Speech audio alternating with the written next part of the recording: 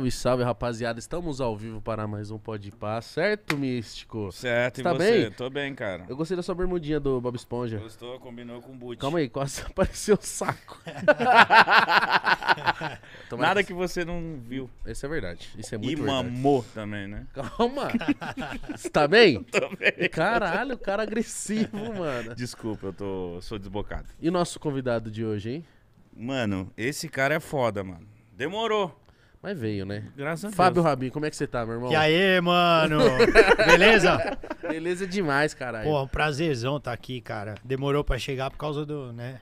Do que? As tretas que rolaram entre nós. É nós tava verdade. Tá Falar ligado? sobre- Você não lembra? Lembro. Que tinha treta com vocês e o Flow aí, depois dos desdobra- desdobramentos judaicos, aí eu vim aqui. Ah, que isso. Cara me pega de calça curta, assim. não, ele que tá de calça curta. Eu tô. Aí tá. Quase mostrei o Tá saco. bem, meu irmão? Pareceu o episódio do Friends. Eu tô bem, cara. Tô bem, pô. Tô mal feliz de estar aqui. Mano, eu dei uma olhada. Tipo assim, na casa que você tá construindo. Jeová Cristo. hein? Você viu ali, mano? Parece o, o Shopping União de Osasco. ah, não é assim. Eu acho que é porque você tá construindo, deve ser uma doideira construir, velho. Ali onde eu tô construindo, vou mandar derrubar a casa do Gustavo Lima pra ser a minha casa, pra você saber o tamanho do bagulho. Não, não é assim, pelo amor de Deus. Mas é um lugar legal, né, cara? Pô, tem um-. Na verdade, a casa não tem nada demais de ser grande, essas coisas, mas o terreno é muito legal, tem uma vista bonita, que é o que, pô, a gente precisa aqui em São Paulo, né, cara? Um pouquinho de paz, né? Nossa, cara, não aguento mais ver prédio toda hora, cara. Eu vou gritar gol, tem um vizinho corintiano na janela na minha frente. Não dá, é uma Mas você é merda. da onde? Você é da onde? Eu moro numa quebrada do Itaim Bibi, tá ligado? Mó treta lá, velho. É treta? Qual que é a treta Vários lá? caras tentam sequestrar, velho. O bagulho é foda. Pra sair, da- Ô, mano. pra sair de casa tem que. Vários chihuahua pega seu boot, tá ligado?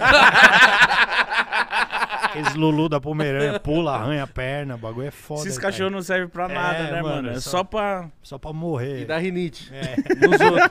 É verdade. Só, Inferno esse cachorro. só pra morrer. Falar do. Eu vou falar. O cara ficou, o cara ficou mais. O mítico disse assim, ó. Lembrou É, do Eu patrocinador. dos lembrei do patrocinador. patrocinador, me deu um branco na Falei, mano, o patrocinador aqui tem patrocinador novo, hein? Rapaziada, hoje estamos com patrocinadores, certo? É Isso. O primeiro deles é a PlayStation. Queria muito agradecer, PlayStation. A gente te ama, tem um relacionamento muito bom com vocês desde muito tempo. Você já desde ganhou sempre. dois videogames, Eu né? já ganhei dois PlayStation 5. Eu comprei o meu. Ah, mas eu fui legal, porque um tá lá em casa, o outro eu coloquei aqui no estúdio. Verdade. Pra quem quiser jogar, Tamo junto, só ajudou a produção e aí. vem. Rapaziada, vai lançar o Horizon, né? Horizon. Horizon. Mano, pra quem jogou o primeiro, sabe o quanto esse jogo é muito bom. E agora as novidades que ele tem, né? Agora, tanto pra PlayStation 4, tanto pra PlayStation 5, é exclusivo, né, Miss? Exclusivo, exclusivo. Exclusivo PlayStation, então é o seguinte, mano, o gráfico dessa vez tá melhor ainda. Mano, as fauna, flora. Mano, e agora vai. Clima. Ah, não, fala aí, eu tava mostrando o trailer pra você. Você vai, você vai pro gelo, e você- quando você quiser, você vai pro sol. Tem fase no sol, tem fase no gelo. E tem. Agora também tem batalhas Combate subaquático. no ar, na terra. na Terrestres, aéreas, mar. Sim, mano. Porque antes não dava pra você entrar na água, agora dá. Tanto é que tem história lá, tem combate. Então, mano, garanta já o jogo. E até o dia 17, agora, um dia antes da, da estreia, né? Se você comprar na pré-venda, tem até 18% de desconto nas melhores lojas aí, você pode achar, certo?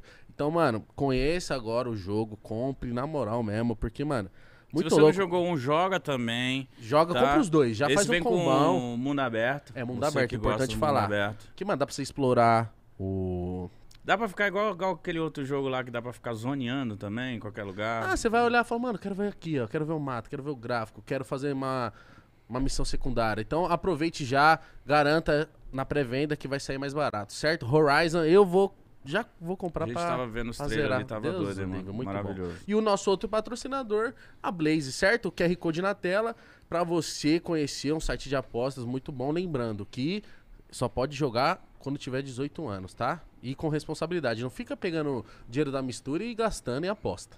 Tá? Pega o dinheiro que tá sobrando aí ali. Você fala, ah, tem 30 conto moscando. Vai fazer mais dinheiro. E se fazer dinheiro, saca, porra. Exatamente. Ó, tem um lance agora que é o seguinte. cada, a cada amigo que você indicar e ele fizer um depósito de 50 reais, você ganha 20 na hora. Então, se eu indicar o Mítico ele fazer um depósito de 50, ganhei 20. Quanto mais amigos eu indicar, mais eu ganho e eu tenho chance de ganhar de premiações até 250 mil reais. Então aproveite. E se você ainda não conhece, vai se cadastrar agora, use o cupom. É, é- não é cupom, é tipo um, Código. um código promocional pode pá, que você vai ter uma graninha a mais aí também, tá bom? Então conheça a Blaze, QR Code tá na tela e o site também. Então, ó, vambora agora falar daqui. Ele falou assim que não gosta de gritar gol. Posso aproveitar pra pedir um PlayStation 5? Pede. Pede aqui, ó, pede aqui, Aí, mano, seu apelo. PlayStation, porra. Aí, mano. Aí, mano, a galera aí. Aí, galera Fala. da Play, já, japonesinho da Play, tô ligado que é você. Mano, pô, tô com quatro lá, cara, que é muito legal, mas já tá apitando, meu. Sabe quando você, ele, ele fica apitando sozinho, vai pip, Pip. Nossa, tá, tá foda. Mano, parece uma bomba relógio ali. Tem que botar ele equilibrado embaixo de um prato pra não apitar, porque se ele ficar muito, muito pra trás, ele apita. Que isso, você tá falando sério? E, e não entra mais CD, tem que ser tudo na memória. Se botar CD, às vezes eu tô jogando FIFA, eu tô ganhando o jogo, mano, eu falo, chupa, o CD sai e desliga. então, por favor, Por favor, PlayStation mano. 5, tá na hora, mano. Manda os cinco pra ele, mano. Você Meu, joga? Ele fica tipo um skatinho aqui, tem que estar equilibrado aí. Mano, no se eu sou os caras, eu mando um 4 novo. Jogo. Filha da puta. Mas você joga, você joga esses Jogo, bagulho? jogo. O que, que você joga? Eu jogo muito FIFA, cara. FIFA é um bagulho que me pegou. Aliás, é uma bela crítica ao FIFA que os times brasileiros tinham que vir com os jogadores, né, mano? Mas aí, Como assim? Não licenciaram. isso. É, então, o nome dos jogadores, tipo, você bota, tipo, você pega o São Paulo pra jogar, o atacante chama Berra- Bezerra. ah, mano, quer jogar pra ser real o bagulho. Puta, que merda. Então foi porque não liberou. Não liberou Sério que o licenciamento. Bezerra era melhor que o Pablo, no- mas, tipo, porra. Bezerra. Não, é, não tipo, dá. Não dá, mano. Não fica legal. Até a própria seleção brasileira não tem. Não tem, o atacante chama cloroquina. Não tem na seleção também? Não tem, porque não, não, não, não licenciaram os jogadores da seleção brasileira e os jogadores dos times brasileiros, tá ligado? Porque, querendo ou não, tem dinheiro envolvido nisso aí. E aí, pô, o jogo ganha dinheiro com isso. E aí eles não queriam meio que pagar o. clube. Não sei se não O queriam. PES tá patrocinando o campeonato, tem uma coisa Exato. assim, né? E tem o lance de Ah. exclusividade também. Tipo, o PES comprou a exclusividade, então aí o FIFA fica sem. Então é tipo, sei lá, o PES comprou torneio tal, então no FIFA não vai ter, que nem o FIFA agora tá com a Libertadores. Não tem no PS. Uhum. O, PS tá- o FIFA tá com a Champions League. Então, é tudo mercado, né, Rabin? É, tinha que liberar tudo pra todo mundo e cada um joga o melhor jogo. Lembra do Bomba Pet? O que, que é isso? Não ó. lembro. Não jogou, não jogou o jogo pirata. Bomba Pet. Bomba Wing Pet. Eleven. Win Eleven. Isso.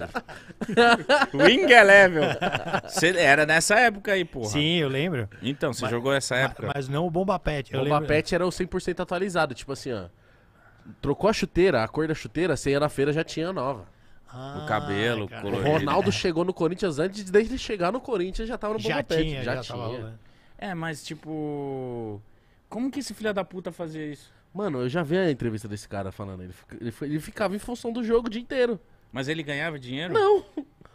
Acho que não. Nossa, ele fazia por amor entregar. Sim. Especulação. É especulações aqui, a gente vive disso. É, ver- mas ele já deu uma entrevista, eu não sei o que, se- que, que ele fez. Enfim, foda-se ele.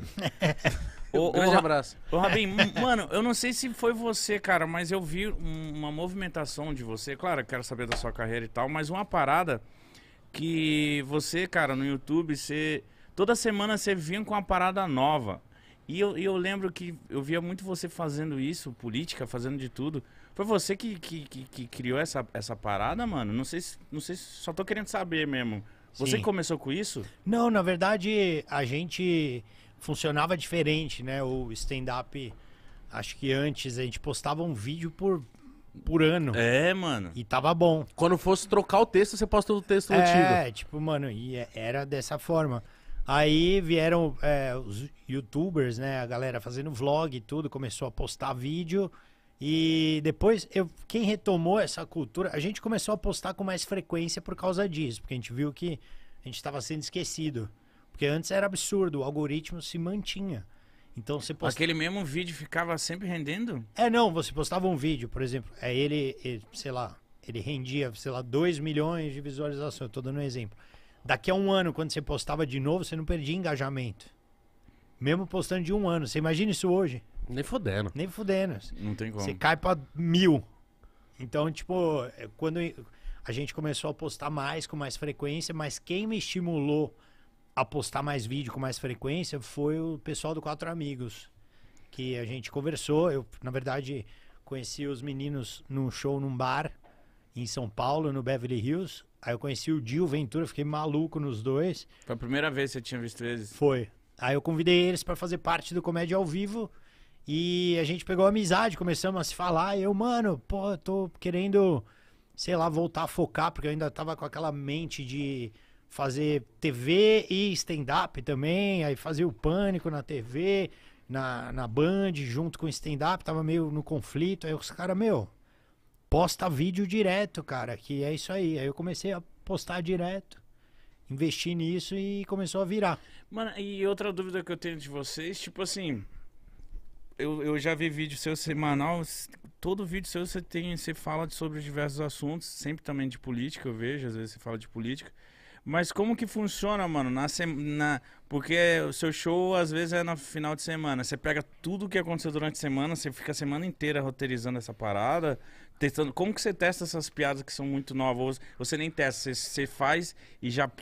vai pro palco. Não tem muito esse tempo de teste, porque é, às vezes um assunto acontece, né? Tipo, o último vídeo que eu postei foi o Palmeiras sem Mundial, Eu vi. que era o. E não tem mesmo, né? Não tem mesmo. último vídeo. E, tipo, o jogo foi sábado. Meu show foi Caralho, sábado à calma aí, noite. você me deixou bem Nossa. feliz, mano. Com uma parada, tinha esquecido. Um beijo, gente. O Chelsea é muito foda. Filho da puta, Porra. perdi mil reais.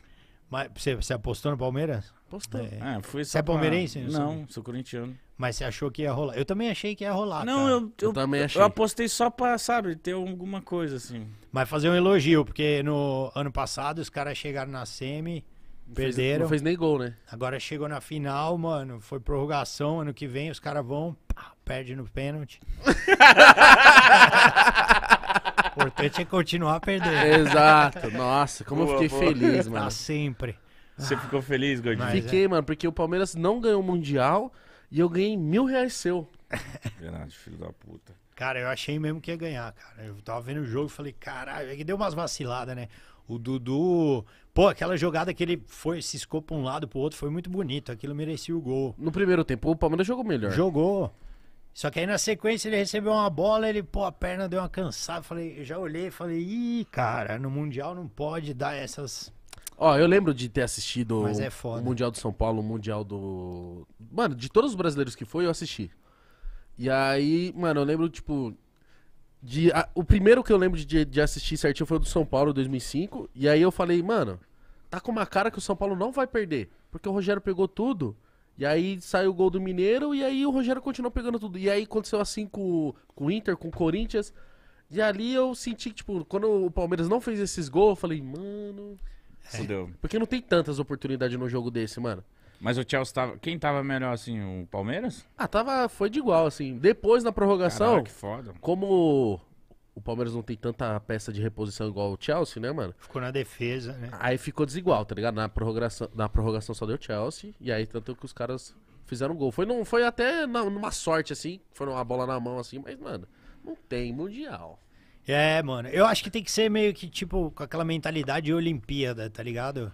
Tipo, esses atletas de salto. Não, é sério, meu. O cara que vai saltar na Olimpíada, ele não pode errar, tá ligado? E, e a final é tipo Olimpíada. Os jogos que o São Paulo ganhou, não ficou perdendo gol, não, mano. Os três mundiais, eu lembro.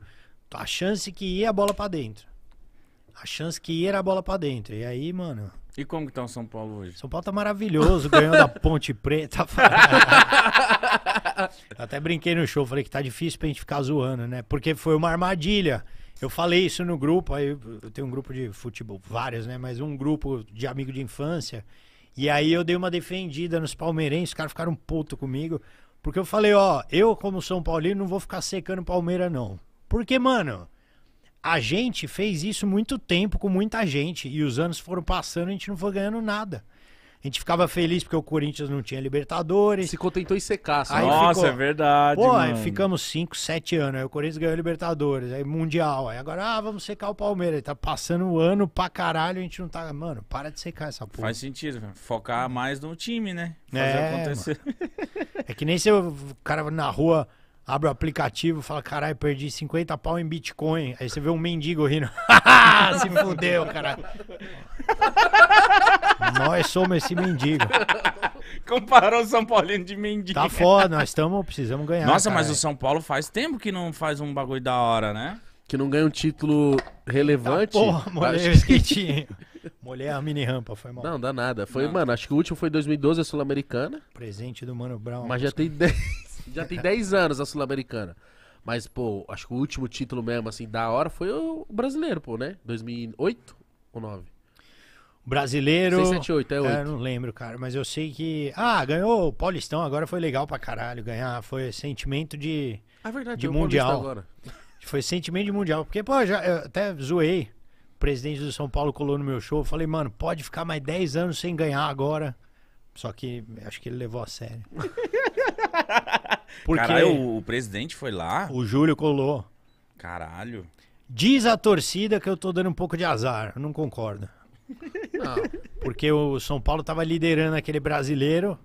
2019, né? Com, Com 20. e aí o Nenê colou no meu show. Gravei um vídeo com ele. Aí o São Paulo despencou, velho, depois que ele veio no meu show. Você acha que Aí o Júlio veio depois da final do Paulista. Aí, mano.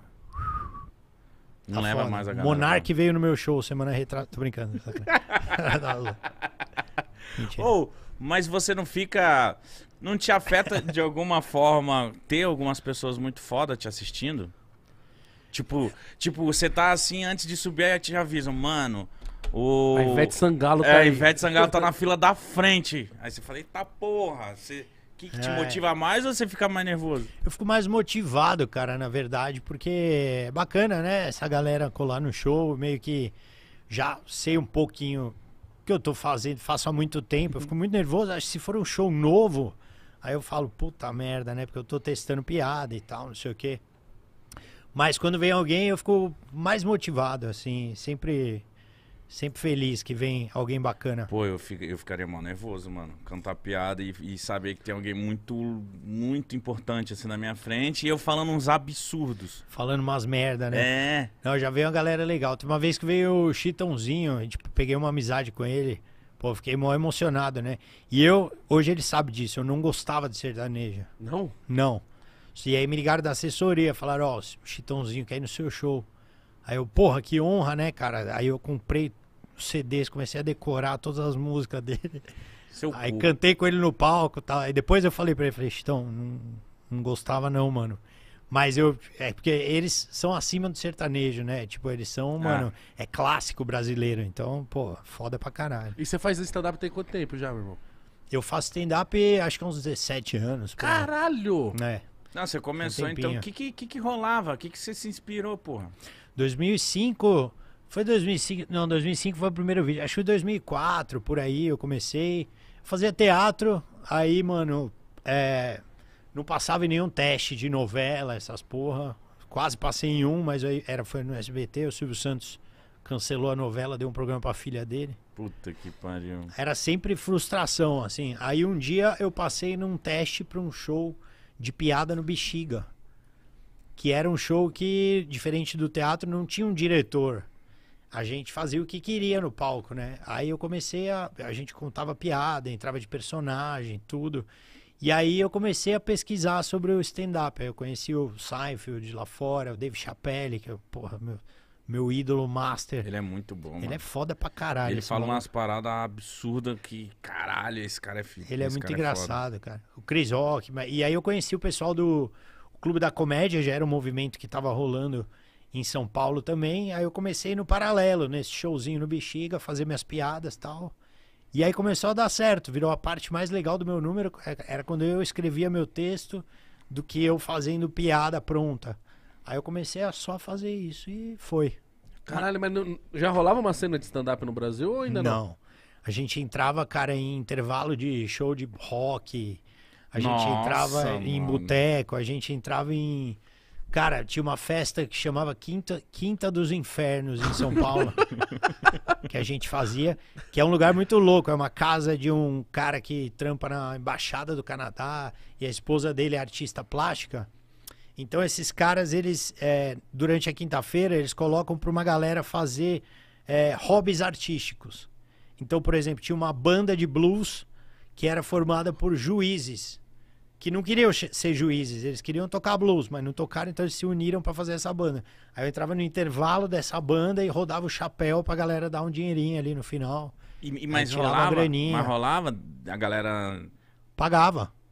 A galera pagava. Aí, aí fomos profissionalizando, aí fomos colando em bar, aí conseguimos é, o bar ao vivo, né?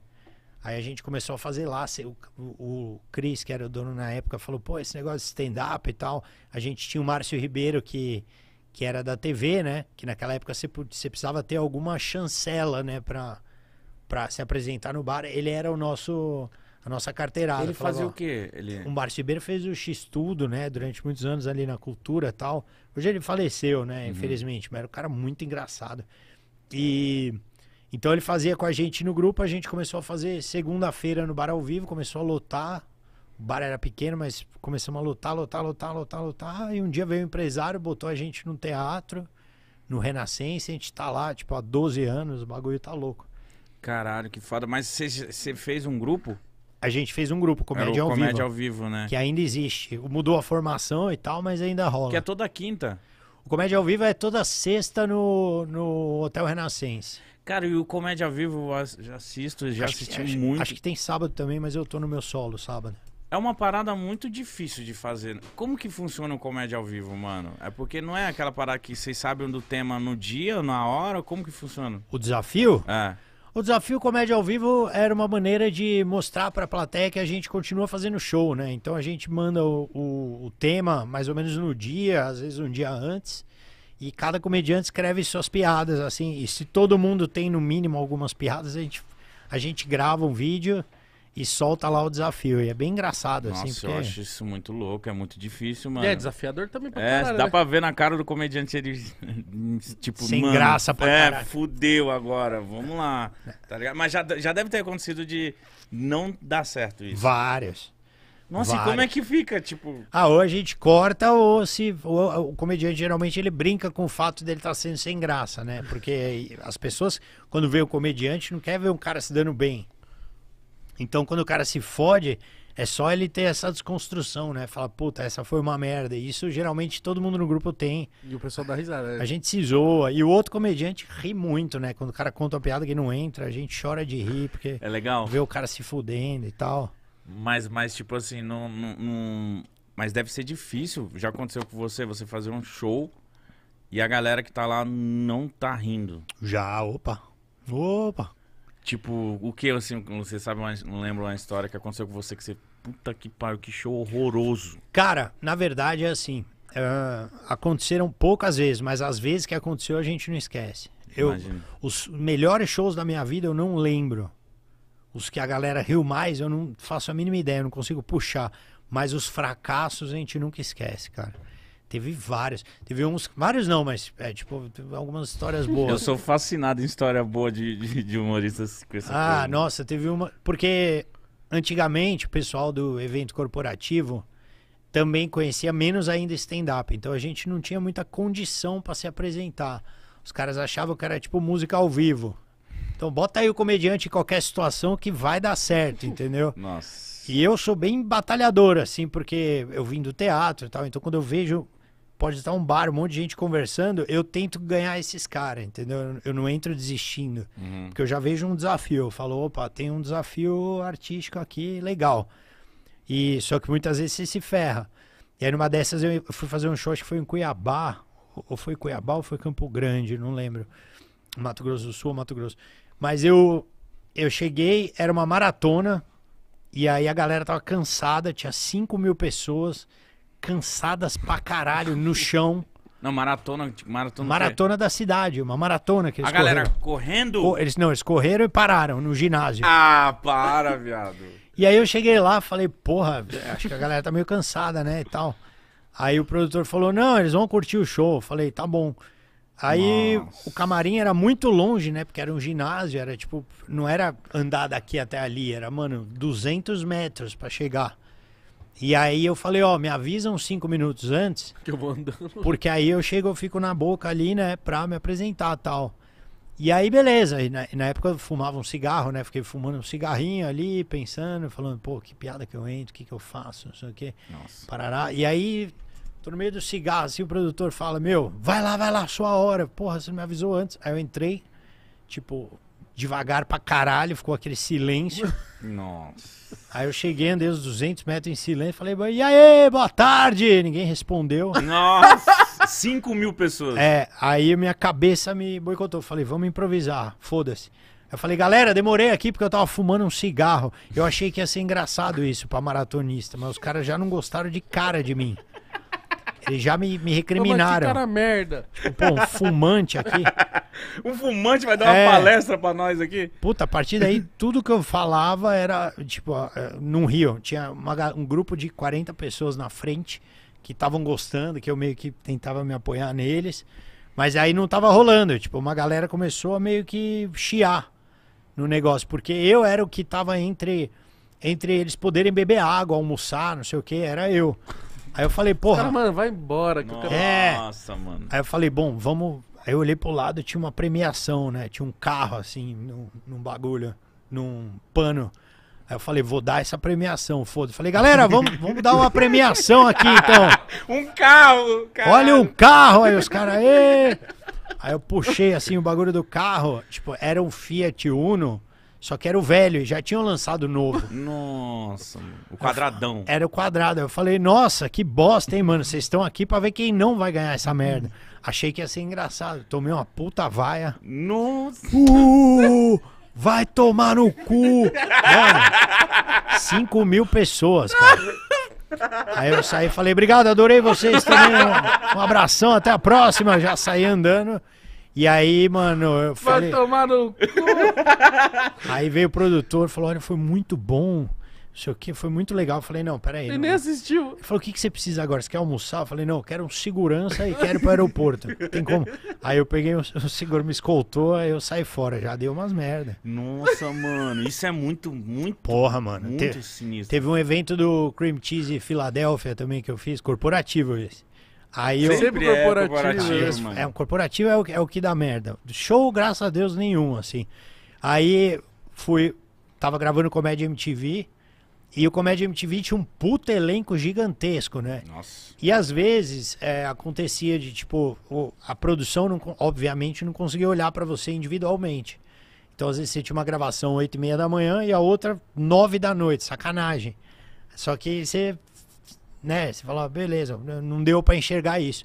E eu tinha um evento em Campinas, 10 e meia da noite, da, do Cream Cheese Filadélfia. Aí falei, galera, é, tem como passar minha gravação pra mais cedo, não sei o quê? Pô, tem um evento e tal. Ah, pode deixar, vamos passar. Enfim, acabaram não passando.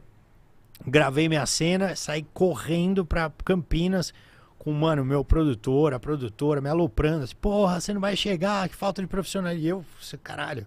Trabalhando Tipo, pra Tô caralho. trabalhando. Aí cheguei em Campinas, assim, mano, sem ar, assim, falei, cadê o palco? Cadê o palco? Aí o produtor, não, calma, calma, você chegou cedo, tá tranquilo. Eu falei, porra, que bom, né? Ela falou, você quer alguma coisa? Relaxa, tô vendo que você tá estressado, quer uma coca, quer jantar? Dá tempo. Eu falei, você tem, você dá tempo? Ela falou, não, dá tempo, tem um palestrante ali, se alongou um pouco, fica tranquilo, vai lá.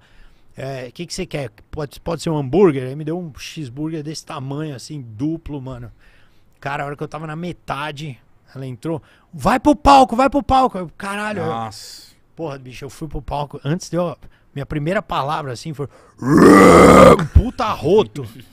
Um puta roto escroto, assim. A galera num jantar chique, mano. Nossa, mano. Aí meu cérebro falou: vamos improvisar. Vamos eu ganhar essa Eu galera. falei, foi mal, tava comendo Filadélfia ainda. Puta, ca- cagou mais ainda o bagulho, né? Tudo foi uma bosta. tá? Não funcionava nada. Não, deu- esse show até que rolou, mas foi um arroto bem escroto, assim. Nunca mais eu fiz nada pra Filadélfia. Então, tipo assim, todo humorista que veio aqui, mano, todas as histórias de merda é nesse... Evento corporativo. Por quê? Porque ele paga mais, por isso vocês topam, mano. Quem veio aqui e falou que amava isso? Era o Albani? O Renato Albani. Ah, ele Albani falou pra que conseguir ama. mais corporativo só. O Albani é mercenário. Filha da puta. Ele é malandro, Filha o Albani eu tô ligado.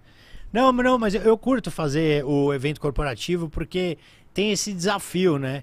Porque, assim, é óbvio, mais tesão é fazer show pra plateia que vem te ver, né? Pô, é, é onde você consegue uma conexão real. Mas quando, quando você consegue isso num show corporativo, é muito gratificante também porque você conquista pessoas que não necessariamente curtem o seu trabalho, entendeu?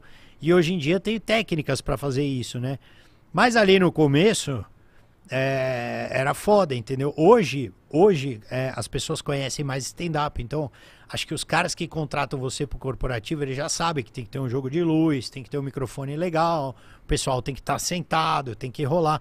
Mas às vezes a galera insiste de dar uma vacilada, acaba não rolando. Não, mas pô, colocar ele.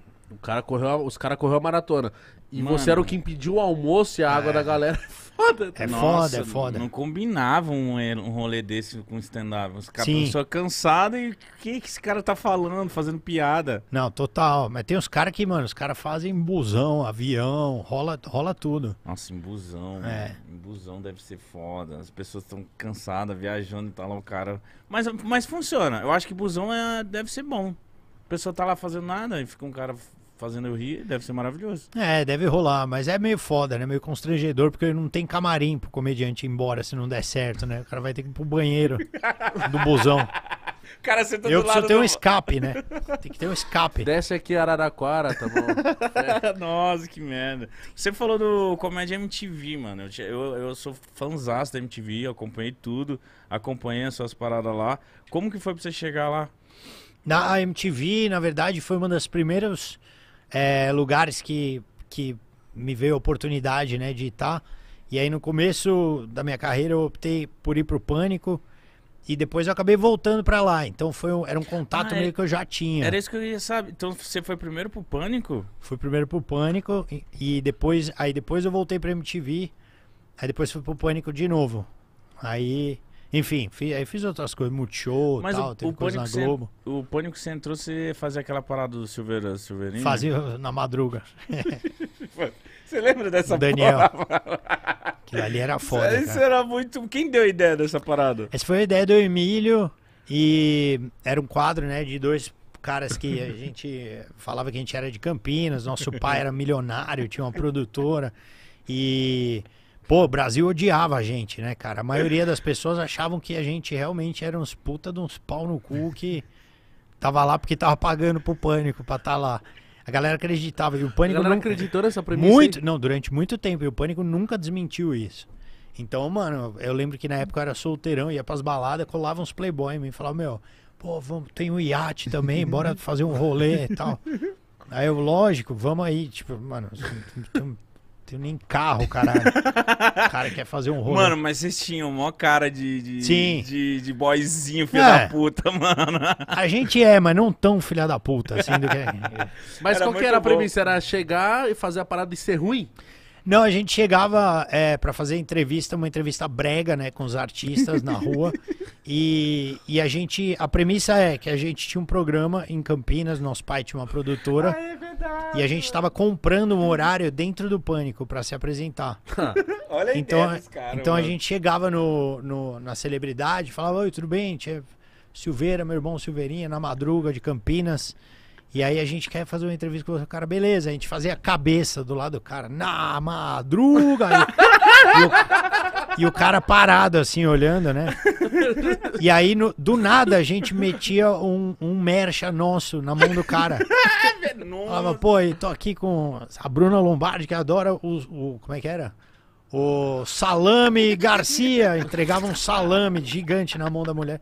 A mulher, não, não come isso aqui não. Aí a gente corta, por favor. Aí, aí continuava gravando, né? Falava, meu, fala que você come o salame, por favor. É nosso patrocinador, senão a gente vai perder o programa. Aí, meu, a mulher ficava puta, Ela fala- brigava. Alguém já falou os merchan? Não, a galera ficava puta. Todo mundo empurrava a gente, queria matar o caralho. Mano, isso era muito... Na madruga. Era muito bom, mano. Isso era engraçado. O Emílio que veio com essa ideia. Essa eu acho que foi do Emílio. Caralho, mano, isso era muito engraçado. Eu vi, eu falava, mano, e eu sabia que os, os, os, os entrevistados ficavam tipo assim, mano, que merda. Os caras que- queriam matar a gente, velho. Mano, Mas mas que consegue ficar nessa constra- nesse constrangimento? É assim? uma merda. Não, eu não gostava, cara. Tipo, na real, eu não tinha muito prazer. Eu tinha prazer quando terminava e rolava um bagulho com, tipo, com uma, com uma celebridade, sei lá, meio filha da puta, assim, né? Que o cara é estourado, aí você, sei lá, você toma um, um xingo, toma um pau. Eu gostava depois, depois no Ah, você final. gostava? Ah, vai dar bom, vai não dar Valeu bom. a pena. É, no final eu falava, pô, acho que isso ficou engraçado. Eu sofri pra gravar, mas acho que a galera vai dar risada em casa, entendeu? Sim. Então dá um prazer assim, mas o momento de você gravar, não sei o que, eu achava meio, meio noia. Porque você tava na rua, né, cara? Tipo, você, você não tem segurança, eu não sou repórter, não tenho essa formação, e você tá atuando ali ao vivo, você não sabe a reação. E outra, é os caras falando com na madruga, os caras não vão respeitar, né? É. Não, e não, não é nem o artista, é o segurança do pico. Entendeu? Que, mano, o cara dava um chega pra lá em você meio na técnica, né, mano? Dava uma, uma paulistinha do nada. Era uma merda. Isso aí era foda pra caralho. Era você sozinho? Eu Ah, e o Zuckerman. Daniel, Porra. Ah, mano, o Daniel só faz esses negócios também. Eu né? acho que o Daniel gostava de Não, o fazer Daniel isso. é muito retardado, cara. Não dá. O Daniel é muito louco, cara. Mano, você fazer essa parada de constrangimento só de. Eu, eu assistia a eles, eu ficava constrangido, mas aquela coisa de tipo, mano, é engraçado pelo menos. Eles estavam É, mas fazendo. pra gente, né? É engraçado aí, tipo, tá tá entregue aqui, ó, nós fazendo um papelão, mas, mano. Agora, muito louco O, o isso. Daniel, acho que ele sente prazer Ele nisso. sente, ele, ele gosta. sente. eu achei que tem um tesão Ele, nessa ele tem mais é humor de constrangimento, ele gosta. É, o, Ele é, a, é a área dele. Eu tava ali meio que me adaptando ali e tal, não sei o que, tentando atuar ali no meio. Mas, cara, eu ficava bem nervoso. Eu falava, Mas, cê- caralho, que mas bosta." isso você tava paralelo com o stand-up. Tá paralelo. A galera não tava te reconhecendo. Ô, mano, eu sei quem é você. Não. Não, porque era muito embri- é, embrionário, né? A coisa do. Tava no YouTube, mas ainda tava no começo e tal. Tinha algumas pessoas que conheciam, mas, mas era menos, assim, era pouco. E, e se conhecia, não lembrava o nome. Pode, podia até falar, ah, te vi no stand-up. Pô, lembro de você, você é o sou Silveira, do Na Madruga, meu pai, não sei o quê. Aí o cara, ah, ele amarrava na cabeça dele e já entrava na nossa. E assim. você tava no começo do pânico nessa época aí? Foi no comecinho. Caralho. Mano, essa parada de na madruga era muito ruim, mano. Essa época foi bem no, foi bem no comecinho. Quero chegar em Era casa na e vou- Band vou já? rever. Esse era na Rede TV. Que Deus os tenha. Você ficou no Que, que o destino não me faça voltar. Se Deus quiser. Dar uma rezada boa, né? Você ficou quanto tempo no pânico? Eu dou risada porque o meu melhor amigo tá lá, tá ligado? É, o Júlio Bem tá lá. provável você vai estar lá. Eles me também. chamaram pra estar lá com ele também, no, no bagulho. Nossa, então deve ser ruim, você nem foi. É, eu fiz umas reuniões ali.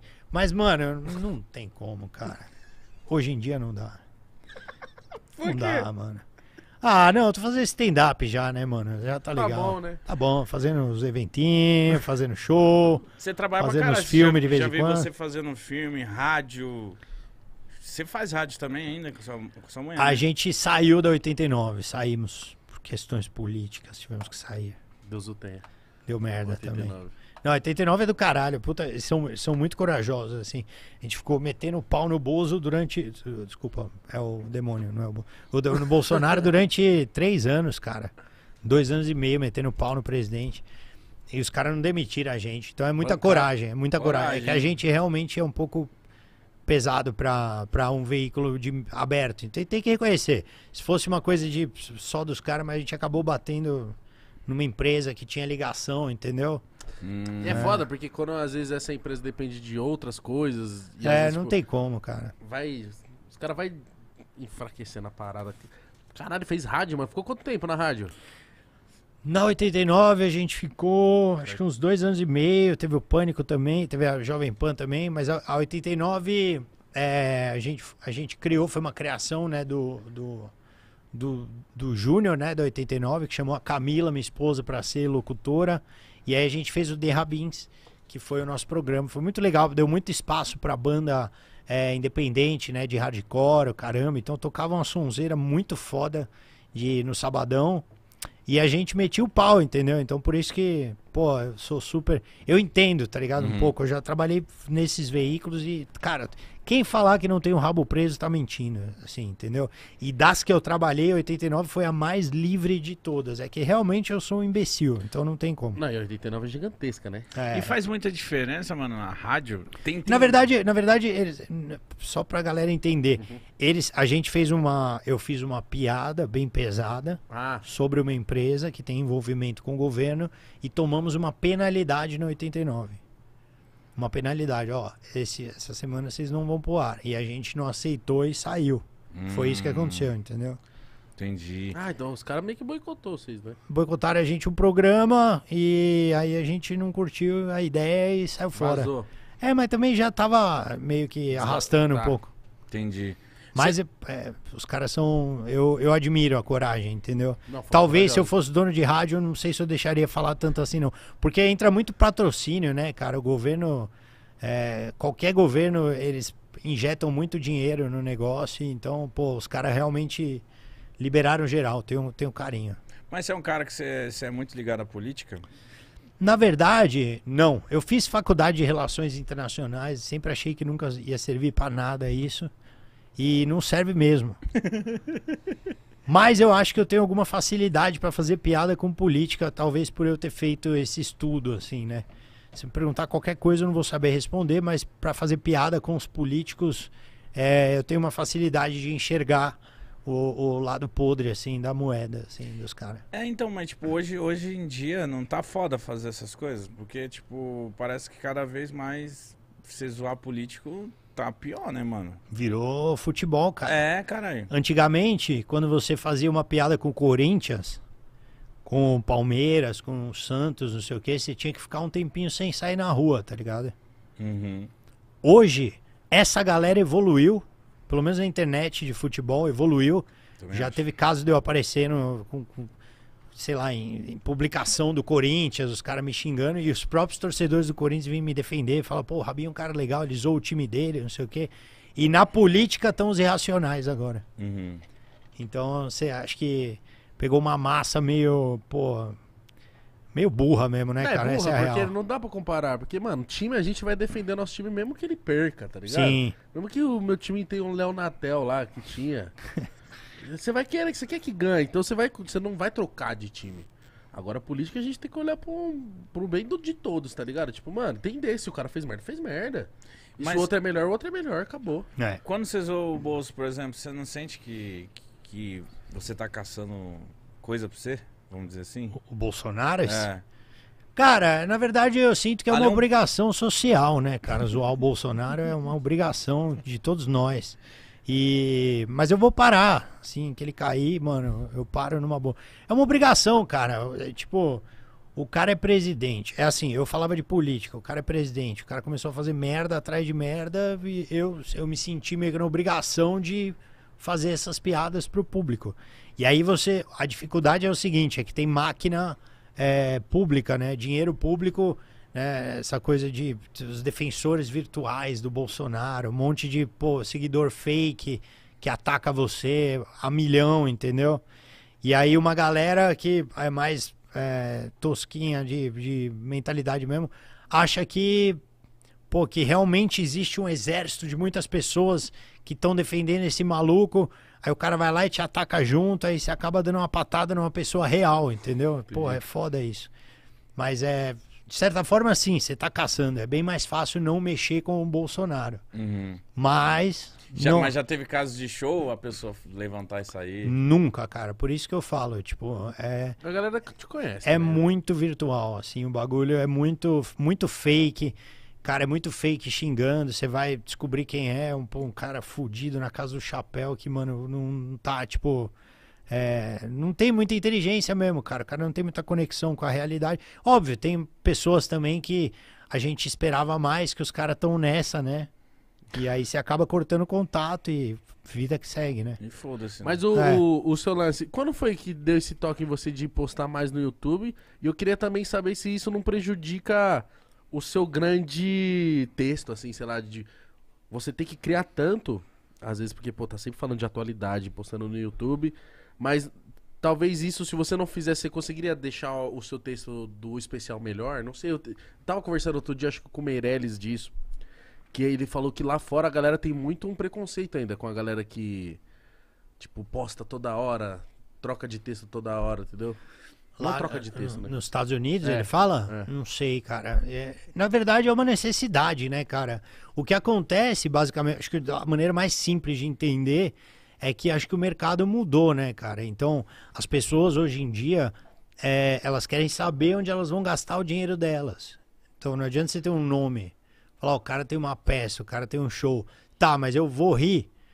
Tem que ter uma amostra grátis, sabe aquela foto do hambúrguer? Então, Entendi. eu acho que o show é um, o- os vídeos eles são um pouco isso. Tipo, vem cá. Você tem que mostrar pra galera o seu trabalho e tem que mostrar direto, cara. Não, não tem muito essa de Senão acontece Ah. aquilo, né? O algoritmo engole. também. exatamente, não tem muito essa de falar, puta, não, faço faz tempo, tenho meu nome, tenho nome o caralho. Tem que trabalhar toda semana, mano, todo mês no mínimo ali pra ter um videozinho e continuar trampando. Ô, você falou do, do comédia, eu queria falar do comédia MTV. Como, você tava no pânico e você foi chamado pra ir pra lá? Como que foi? Você saiu do pânico e você colou lá? No, a- quando eu voltei, na verdade, eu, eu tinha um quadro no Pânico, Beijo na Boca, Tapa na Cara, que é um Na quadro praia, absurdo. Esse era bom. Esse era bom. Hoje em dia também daria cadeia, né? Isso Ah, aí. mas eu era moleque, eu ria de Eu, Eu ria demais, mano. É, a gente basicamente fazia chaveco escroto pra apanhar das minas na praia, porque o Zuckerman namorava. Então, a gente era bem. falava uns absurdos pra apanhar. E tomava vários tapas na praia, e só que era muito legal, né, mano? Pô, se divertia pra caramba. Aí me chamaram na MTV pra fazer o furo. E aí eu falei, não vou, mano. Tô, pô, várias minas na praia, solteirão, não sei o que, vou ficar no pânico.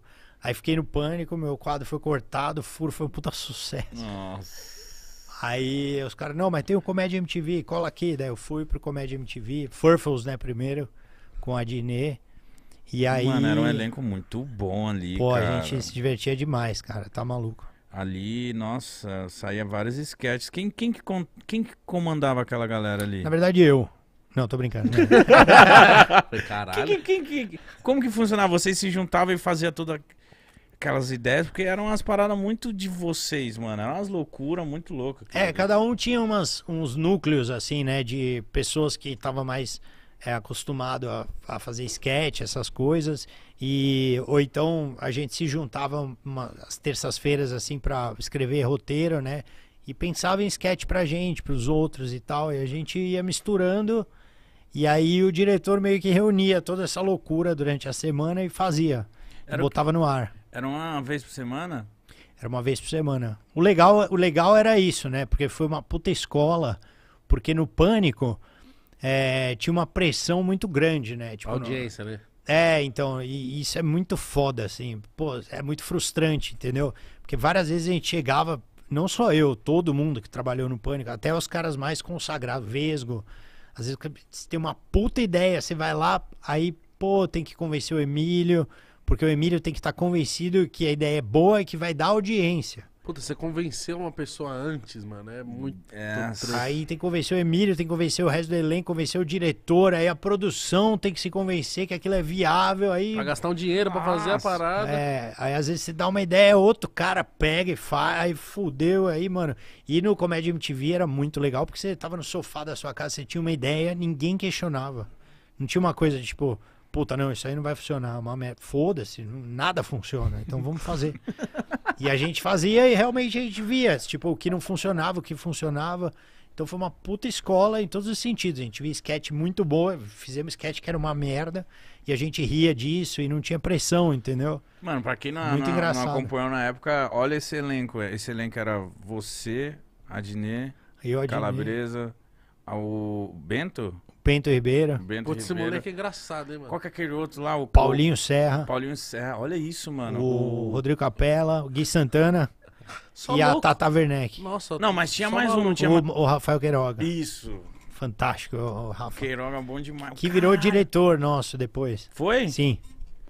Ele fazia e, virou diretor também. Queiroga tá bilionário, tá dirigindo o Luciano Huck agora. Caralho. Que foda, foda, mano. mano. Não, ele tá com um puto iate, o Queiroga agora. Ele é o Silveira Ah, tô agora. brincando. Virou o Silveira. Pô, e essa época ali, cara, eu não me lembro muito. Ficou quanto tempo assim vocês ali na MTV? Eu acho que a gente ficou uns três anos, talvez. Por aí, uns três, uns três anos. Acabou quando a MTV faliu. Acabou. É, acabou, acho que mudou de presidente, né? Não sei se foi comprado pelo grupo Abril, É. deu uma merda assim. E aí, um dia chegaram antes da gente gravar as sketches e entraram no camarim e falaram: Ó, esse é o último programa, não sei o que. A gente, caralho, Do merda. nada, assim, pegou de surpresa. Do mano. nada. Aí todo mundo ficou, puta, que bosta. Aí foi isso, foi o último programa. Aí depois eu saí, saiu mais algumas pessoas. Depois eles fizeram mais alguns ao vivo e acabou. Aí acabou geral. Você falando assim, essa cobrança de TV, de Ibope, Deve ser de audiência toda hora, eu acho que é uma coisa que impossibilita da gente ver grandes coisas na TV, mano. Porque não, não, não tem tempo pra se pensar e trabalhar nada, mano. Tipo, com- e consolidando aos poucos, né? É uma merda. A gente só vê os formatos que já deram certo há muito tempo atrás se repetindo, Sim, Sim. não é, é? exatamente. Pô, os Ninguém ousa. Não é, exato. Exatamente. Mas é aquilo, qualquer um pode se viciar, né, cara? Se você for ver, até um podcast. Se você pegar e falar, pô, vocês fizeram com o Lula aqui. Deu uma puta audiência, compara com a minha. Deve estar uma bosta. Mas aí, Mas, é- mas se vocês tivessem viciado em audiência, falar, não, caralho, agora que a gente fez o Lula, a gente tem que pegar o Obama. Aí se já perde É. o prazer do trabalho de vocês, entendeu? Tipo, você já fica, porra, Não. em vez de saber que você pode ter uma, uma entrevista, às vezes, que vai ter 10 mil no YouTube, só que é um puta papo legal, não sei o que, nanana. Não, a gente ficou um ano assim, muito assim, não pensando em visualização, mas só trabalhando muito, que esse ano a gente falou assim, mano, no começo, vamos trazer uns humoristas, vamos trazer uma galera mais pra gente bater um papo mais relaxado, porque às vezes vem uns artistas, vem umas pessoas que a gente não conhece, e a gente tem que se preparar muito, tem que ficar aquele clima assim. demanda então, muita atenção. né? É, então é legal trazer, trazer um comediante, um MC, uns caras que são mais. mais. Aqui, nossa realidade, que o papo fica mais descontraído. Mais de sabe? boa, mais de boa. É, não tem aquela pressão de falar com o Lula. Mas esse lance aí que ele falou. Posso pedir uma água, por Ô, favor? meu irmão, o que você quiser. E um café e um baseado. Não, só uma. Tem baseado aí?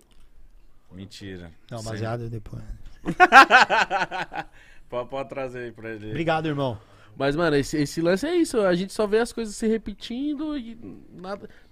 Porque, mano, sei lá. Oh, a novidade na TV é o Mion, caralho. O Mion tá 70 anos, mano. Cara, eu, eu já não assisto nada, mano. Eu também não.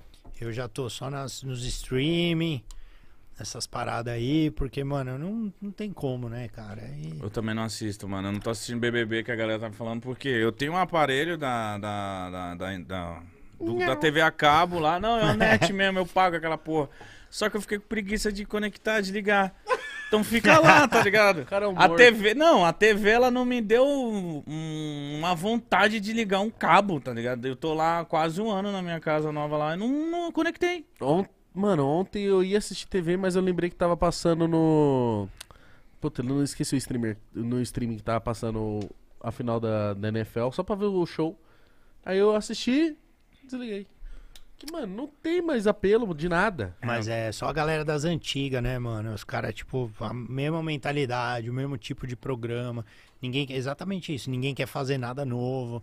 E mesmo se for pra copiar, Acho tem muito formato novo. nada novo, né? Pô, tem muito formato lá fora que a galera, mano, não pesquisa e fica na mesma, assim, é um bagulho ciclo vicioso, assim, que fica pra sempre a mesma bosta. Então você já deve ter chegado assim, mano, caralho, essa ideia é muito foda. E você falou, a pessoa fala, puta bosta, não vai dar certo.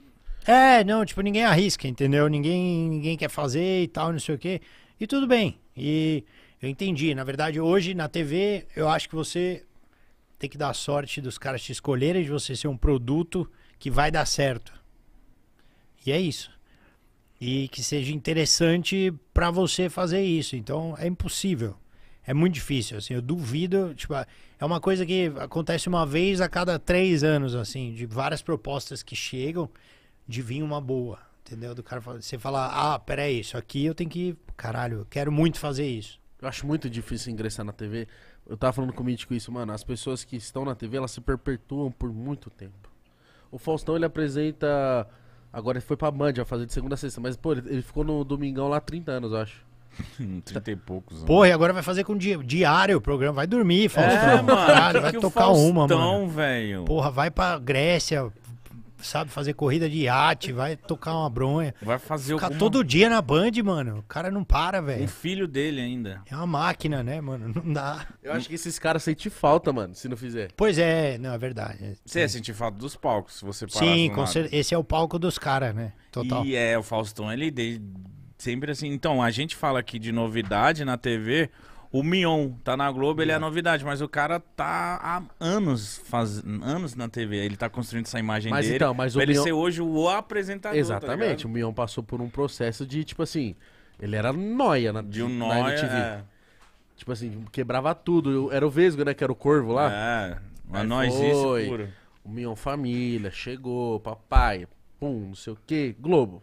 Foi tipo uma construção. E aí foi do caralho ele lá, deu uma renovada. Não, deu uma renovada, mas eu quero dizer que a TV esperou e a todo mundo se surpreendeu com o Mion na Globo, achando que é muita novidade. E tipo, na eu acho que tinha que renovar muita coisa na TV. Eu acho que a pessoa hoje em dia pra pensar que ela antigamente tinha um sonho de tipo assim, mano, eu vou pra TV. Hoje em dia a pessoa vai pra TV é hum, impossível, mano. É só É. melhor na internet. A internet possibilita muito mais coisas do que na TV, mano. Não, e fora que é uma máquina de queimar, né? De queimar pessoas, talentos, assim, é uma máquina muito grotesca, né? Você não tem poder de nada do que você faz, assim, então é muito louco. Imagina você divulgar um pode pá, fala, pô, hoje vai ser foda, vai ter o alguém acima, fala, puta, cortaram. Nossa. Isso acontece na TV, acontece pra caramba. O patrocinador não quer. E o cara não tem como explicar. Aconteceu até no, no- uma vez, foi engraçado. No Comédia MTV, teve uma vez que eu fiquei. Eu reuni umas ideias assim, falei, caralho, essas sketches são foda. Era várias sketches que eu tava. E tinha uma música com o Bento, tinha não sei o quê. E aí eu conversei com o diretor e falou, meu, essa semana, caralho, Rabin, tá só você, hein, mano. Aí eu, pô, que animal, divulguei pra caralho em todas as redes. Ele errou o programa, foi o programa que eu não apareci, tá ligado? Não. Falei, aí, galera, foi mal. Acho que semana que vem eu devo estar, hein? Valeu. Que merda. Mas é uma coisa mais de ego, assim, brincadeira. Mas, Não, mas, mas é você não tem também. poder, É. não, mas você não tem poder. Tipo, você não tem muito poder do que vai acontecer, entendeu? E é muita. Sei lá, né, cara? Você faz. Você faz um teste pra um programa, os caras falam, ó, não divulga que você tá fazendo o teste. Aí você fala, não, fica tranquilo, sei que é sigilo. Aí dia seguinte sai na, na imprensa. Ah, o cara fez teste. Aí, tipo, porra, falta de respeito. Os caras não estão nem aí pra É você, essa é a né? verdade. Então você não pensa em voltar pra TV? Claro que sim, depois de tudo isso que a gente falou. Foi isso que eu falei. Ele falou isso e já era. Foda-se a TV pra ele. Não, eu, eu nunca dispensaria assim, sabe, cara? É, totalmente, a não ser que fosse a Record ou a Rede TV ou a SBT. De resto, a Globo é uma bosta. Não, tô brincando, o cara não gosta de nada. não, é zoeira, Globo. A gente é amigo. Mas o. Chamar sempre os divertidos. Eu gostaria de. Não, por favor. Eu gostaria de fazer uma série assim de streaming, alguma coisa assim, é, mais voltado pra, pra atuação, assim, sabe? Eu não me vejo essas coisas de, pô, uma vez eu encontrei o Rodrigo Faro num restaurante, eu falei, cara, vai Isso pra ser. mim já tá muito bom. Porra, O cara encontrou o Rodrigo Faro, mano. num evento, inclusive, que ele ia lá vestido, pô, eu fazia stand-up e me fudia, ele ia de James Bond, fazia uma porra de uma coreografia e ganhava 10 vezes mais do que eu, só pra fazer a foto com a porra do produto. E aí eu tive vontade de falar, não falei pra ele, mas eu tive vontade de falar, porra, Faro, vai tomar no rabo, mano. Você era um puta de um ator, cara. Você resolveu ganhar dinheiro, né, mano? Mas ele era um ator talentoso, nível os caras, tipo Marcelo Serrado, Wagner Moura, bom ator. Ele era mesmo. E ele foi pra esse mundo de apresentador aí e seguiu a carreira dele. Assim, eu, na minha percepção, falei, pô, era um cara que eh, queria ver ele mais atuando. Ele começou como can- cantando, não foi? Ele é desde moleque, ele tá na Dominó, TV. não era do Dominó? Caralho. Eu acho que era Cara, não isso. lembrava, isso é ruim, hein, mano. Isso é bem, isso Isso é, é bem ruim, cara. Bem, ele é. Ô, Rodrigo, É. você tá bem onde você tá? Tô brincando. Eu acho que ele foi. Dominó, alguma desses, dessas boy band brasileiras aí. Foi, foi, foi, foi. E aí ele. Mano, mas aí é, é mais tipo assim. Mas ó, depois ele fez umas novelas, uns filmes. Eu falei, ele vai pra esse Ele fez caminho. chocolate com ele- pimenta lá, ele fez umas, É, umas novelas famosas. Não, é, mas é, é mais um lance dele, né? Que é ator e também fica assim, aí, o cara é um- vai se virar um é, puta ator. mano. Só que é difícil, mano. Dança, gatinho, dança, gatinho, dança, E o cara dança. de Michael Jackson. Puta que pariu, Rodrigo. Ele tá cagando, Olha, ele tá bebendo no champanhe de ouro dele. Esse rabinho é um bosta. Já viu o tamanho da piscina dele, da casa? É, mano, é animal. Eu tentei pedir permuta pra essa piscina dele, não deram. Ele Já é- vi. Piscina praia. Eu tô ligado. É sério? É, caralho, é uma piscina que parece uma praia. Ah, não, eu pensei que o nome era piscina praia. É, piscina praia. Inclusive agora eles vão ter que dar permuta, fazendo propaganda. Pô, me manda, man... caralho, Me manda, manda É, tem uma. é, se chama assim, ah, que faz essa piscina? Piscina praia. Nossa, Mas eu gosto do. Como é que chama? Caralho, Eco. Mano, eu preciso lembrar o nome desse cara. Tem um cara maravilhoso. Mano, É, essas piscinas são muito loucas. Tem uma velho. piscina que chama é Eco, não sei o quê. Pesquisa, por favor. uma- É, é o Lago na Piscina. Uma coisa assim. Ah, Aí o Alex passa. pesquisar? Vixe. Não, vai ser o É Tietê. um lago na né? piscina. Uma piscina Pô, natural. como que ele vai pesquisar isso? Um lago na piscina? Não, no Piscina YouTube, o cara natural. tem um canal grande, assim, tem 400 mil no canal do cara, pro canal de piscina. Nossa, O cara muito. fez a piscina do Galhaço, da, da. Acho que não sei se da Ana Hickman, sei lá. Que da Ana Hickman tem que ser um prédio Não, deitado. Mas né, sala. Ela e o Gustavo Lima é o. Meu Deus do céu, mano. Nossa senhora, esse- um absurdo o Gustavo Lima. A sua vai ficar maior? É. Não, não dá, não tem como. Mas esse cara tem um negócio legal que ele faz um lago mesmo, com carpa pra você nadar com, com os bichos. Caralho. Minha esposa barrou, lógico, né? Porra, vai engolir um peixe nadando, tomar no cu. Deve ser Eu muito. queria muito ter. É o que? Ah lá, lembra? Ecosis. Ecos, ecossistema, né? Eco, Ecosis, é isso aí. Deve ser caro pra caralho. Deve ser caro. Um- uma piscina com carpa, pai. Só a carpa, uma carpa parece que é 15 mil reais, não é? um Uma assim? carpa? Não, É sério. não é, não. Pera aí, eu vou Nem, pesquisar. pô, nem se você tatuar uma carpa com o Romero Brito é 15 mil reais. Não pode ser 15 mil a carpa, mano. Mas eu nado com sardinha, foda-se. Dourado, qualquer bosta. Vou Não, procurar a carpa é 15 mil reais. Eu vi que o que é caro pra casa é paisagismo, filho. Coqueirinho. É, isso aí. Aí co- cada coqueiro é 15 pau, tá? Ainda bem que já tem uns lá que vieram de, de fábrica. Ô, mano. Tá pronto já. Os caras fazem coqueiro na indústria. Quanto, Na metalúrgica. quanto custa uma carpa? Ah, então são diversas carpas. Mas, ó, a carpa 175, Tá vendo? Não é? 116. É. Reais, né, pai? É, mas aí tem tipo a carpa ornamental. Mas ela custa- solta um ovo lá, vem mais 10 carpas. já É, é. mas é, é caro. não- eu achava que era muito caro. Eu viajei. Ou eu É. vi algum vídeo de fatos curiosos de carpa de Tentaram 15 te mil. enganar. É, caralho. Ele quase comprou uma carpa de 15 mil, né, gente? Quase, mano. Não é, eu acho que eu brisei mesmo. Enfim. Ai, caralho. Mas é, então, essa piscina do cara achei bem legal. Ele bota umas pedras, bota uns musgos, bota umas carpas e a galera, tipo, tem um lago dentro de casa. Achei foda pra caralho. Mas Mano, minha esposa não topou, já não vai rolar. E você tá construindo casa, quanto tempo você tá construindo uma casa? Eu, eu, eu tenho maior vontade de construir uma casa, mas tipo, eu tenho um. Eu acaba a minha Eu vontade. já me conformei que esse ano É. eu já não vou pra lá de novo. É, né? Não, esse ano eu acho que eu vou, mas eu acho também que não vou. então, é isso, que- é isso. Construir dá muito Você trabalho. tá há muito tempo fazendo? Não, eu, eu f- comprar do cara, ele falou assim pra mim. Isso era meio do ano, agosto. Eu falei, mano, outubro tá pronto, é dois meses. Puta merda. Eu falei, não, caralho, beleza. Fui já, dei a entrada e pá, pá, pá. Tô, tô aí. tô aqui, pô. Tô lá no meu AP ainda. E eu já tô um ano, já mudei, já vou pra outro lugar. e cê- Eu tô esperando a minha ficar pronta. É A foda gente, construir. é foda pra caralho. A gente comprou, na verdade, pô, eu sempre morei num AP pequeno porque nunca tive. é, minha casa é uma zona, né? Na verdade, eu usava mais de hotel, né? Que viajo muito pra fazer show pra cá e pra lá, não sei o quê. Na pandemia, que me veio mais essa necessidade. A minha esposa, ela sempre é, quis ter uma casa porque ela foi criada em casa. Então ela sentia muita falta, sempre me pressionou. E na pandemia mesmo, a gente veio de uma sequência de bosta, né? Que aconteceu. Minha esposa fez químio, caralho, curou câncer. Depois deu o Covid, então a gente. Eu falei, mano, vamos. Aí a gente sempre sonhou com essa casa que você viu, que vocês viram. A gente, foi a casa que a gente mais gostou de todas que a gente viu, porque é perto E, e ao mesmo tempo. Não, é muito louco. Pô, é muito louco. A casa não é que tipo Alphaville, que é na, tem uma vista, mas é longe, entendeu? Essa tem uma vista e, e é perto. Então a gente gostou muito do pico e baixou o preço na pandemia. Muito. Assim, tipo, caiu metade do preço. A gente falou, mano, é agora. Pá. Aí compramos, mas. Porra, pra reformar é, é- é quase mais caro que a casa, né? Eu falei, caralho. Isso é absurdo, né, mano? Aí a gente fez, vai fazer um reality de reforma que a gente já tá gravando pra. Ah, tem- então já tem, documen- já tem tudo, tudo documentado já. Não, já estamos gravando. Eu tô trabalhando junto com a, com a rapaziada da obra, dando uma arretada, os caralho. Mano, profissão difícil da porra, velho. Puxada, né? Nossa, vai pro inferno, cara. Nossa, como eu valorizo, velho, juro.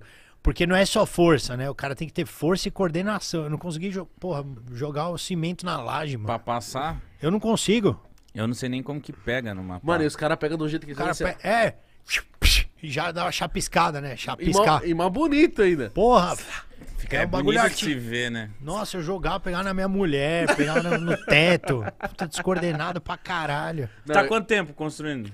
A gente eh, comprou, acho que foi no ano passado, mas a gente começou mesmo a reforma, eu acho que foi no final do ano passado, assim, lá pra outubro, por aí. E Deve ficar moram- pronto e em junho. morando lá? Junho, mais ou menos. Vocês- Não, não, não. Ah, Tá morando é no AP. inferno morar com o negócio construindo. Não, a casa tá toda. A gente tá terminando a fase de demolição. Mano, esse Essa semana eu vou colar lá com a furadeira e vou arregaçar a Ah, piscina cê é pra entrar nova. ele falando essa parada que valoriza pra caralho, mano, e tem, porque, mano, os caras, eles são inteligentes pra caralho, o cara que manja da, Mano, o cara pra sentar um piso, ele tem que fazer conta pra caralho.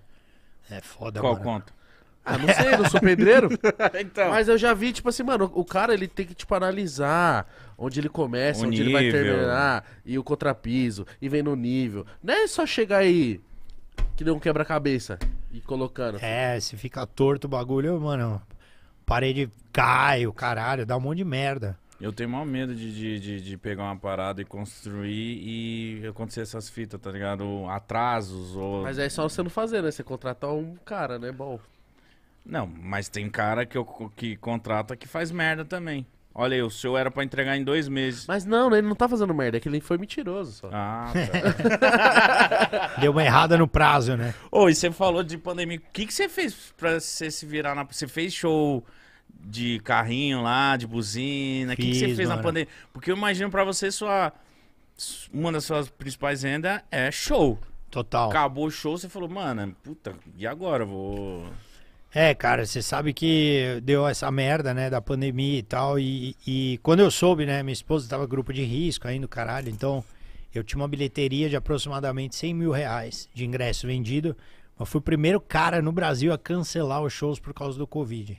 Primeiro. Você que tomou essa decisão. Foi o primeiro no Brasil. E hoje eu bato no meu peito pra falar como faz falta 100 mil reais, cara. Puta que pariu, ainda mais tô reformando. Ele tava vindo tão bonito. Que já né, morreu mó galera. Não ia fazer falta mais um pouquinho. E a minha casa ia estar mais. Entendeu? Não ia precisar trabalhar nela. Nossa, mas como que funcionou isso? Tipo, você tinha 100 contos, você... Filha da puta. Você, você perdeu esse dinheiro, mano. Foi foda. Perdi. Nossa. Não, mas aí, cara, no começo, é, pô, a gente ficou apavorado, a gente fugiu pra um sítio, cara. Puta... a gente foi pra um sítio, cara, mó nóia, assim. E eu gosto de praia, tá ligado? As praias estavam tudo fechadas. A gente foi pra um sítio que com um caseiro sangue bom pra caralho, o Anderson, o cara tinha uns cavalos, foi pra vida de Walking Dead mesmo no começo da pandemia. E e aí eu fiquei lá um- uns meses, assim, sem fazer nada, né? Só é, reconectando vídeos do YouTube, né? Pra dar aquele dinheirinho e tal. Mas eu falei, ah, tenho minha reserva aqui, trabalhei Uhum. muitos anos, né? Então dá pra segurar um pouco. E aí no meio da pandemia me ligaram, um cara ligou, falou, Rabin, tal, peguei seu telefone e tal. É, a minha esposa tá fazendo aniversário, eu queria muito que você fizesse uma live pra, de comédia. Aí eu falei, puta, não vou fazer. Porque é ruim, né, cara? Tipo, Sem eu quero, time, né? eu, quero, eu quero público, né? Eu Não quero, tipo, live. Aí o cara, pô, minha esposa tá em depressão, não sei o quê, por favor, tal, tal, tal. Aí eu falei, tá, vou cobrar um cachê baixo, eu cobrei 70 pau. Falei, não, obrigado. Cobrei barato, né? Fiz um cachezinho e testei umas piadas que eu tava escrevendo na pandemia. Aí funcionou. Pera, era só, só. Você tava fazendo só pra mulher? Não, pra, tipo, a família dela, assim. E E. como que funcionava assim no PC? Você via as pessoas pela câmera? É, eles estavam, tipo, num churrasco, assim, e eu tava no, no sítio, numa mesa com uma luz. Mano. E aí eu fui fazendo pra câmera, assim, umas piadas de pandemia e tal, que eu escrevi. E. E a galera foi rindo. E aí eu. Aquilo foi me fazendo muito bem. Eu falei, caralho, porra. interagindo, né? É, porque não é óbvio que não é o show. Não é igual, entendeu? Mas é, porra, é um negócio, é alguma coisa, entendeu? No meio daquela merda da pandemia. É, o cara que tá sem sexo fazer um sexo virtual. Não é a mesma coisa, mas é bom também, Uhum. entendeu? Então aquilo, pô, alimentou e eu falei, cara, temos um produto. Aí já liguei pro pessoal que trabalha comigo, falei, ó, temos um produto de live comedy, vamos oferecer pras empresas tal. E aí comecei a fazer, fazer, fazer. Fiz muita live e aí fiz show. Esse show da live eu fiz pra carro também. Eu comecei a fazer drive-in também, só que, enfim, foi legal, mas foi um show que não evoluiu, porque não tem aquele calor da risada, né?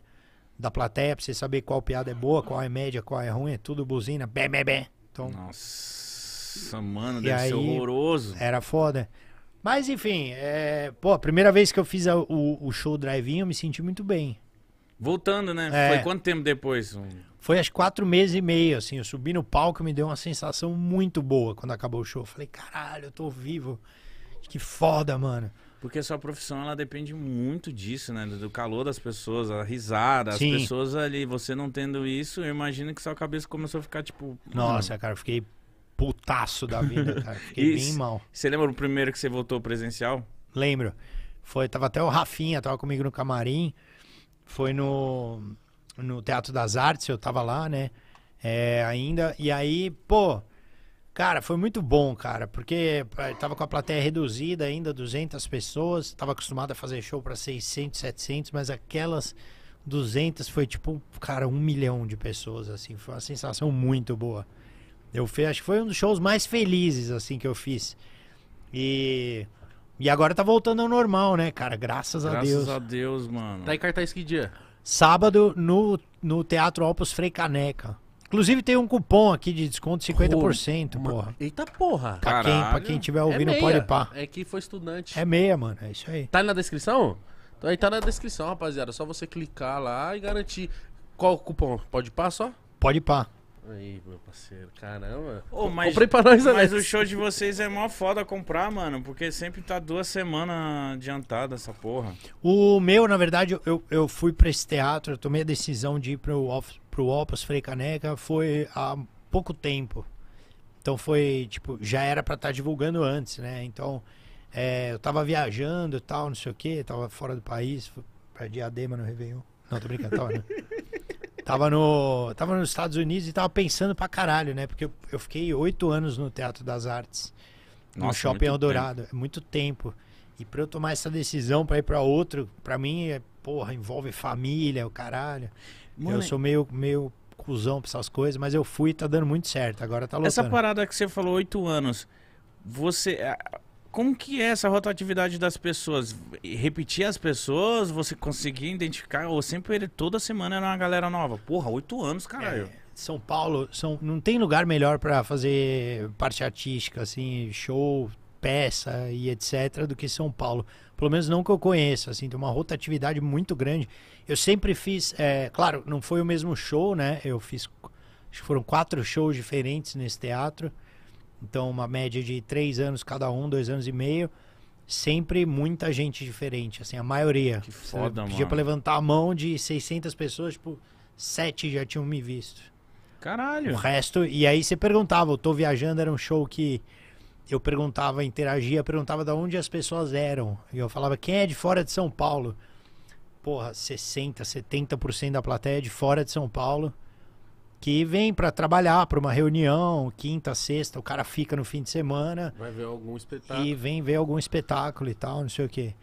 Caralho. gente do Brasil inteiro, é muita Mano, rotatividade. Oito anos num, num- de cartaz é foda demais. Não deu vontade de, de você fazer show na gringa também, não? Eu fiz. Não, eu sei que você fez, mas de ficar fazendo lá? Cara, eu, porra, cara, eu, eu ainda acho que talvez por uma questão de segurança, talvez um dia tenha que ir pra lá, né, com a minha filha e tudo mais. Mas eu, eu adoro brasileiro, cara.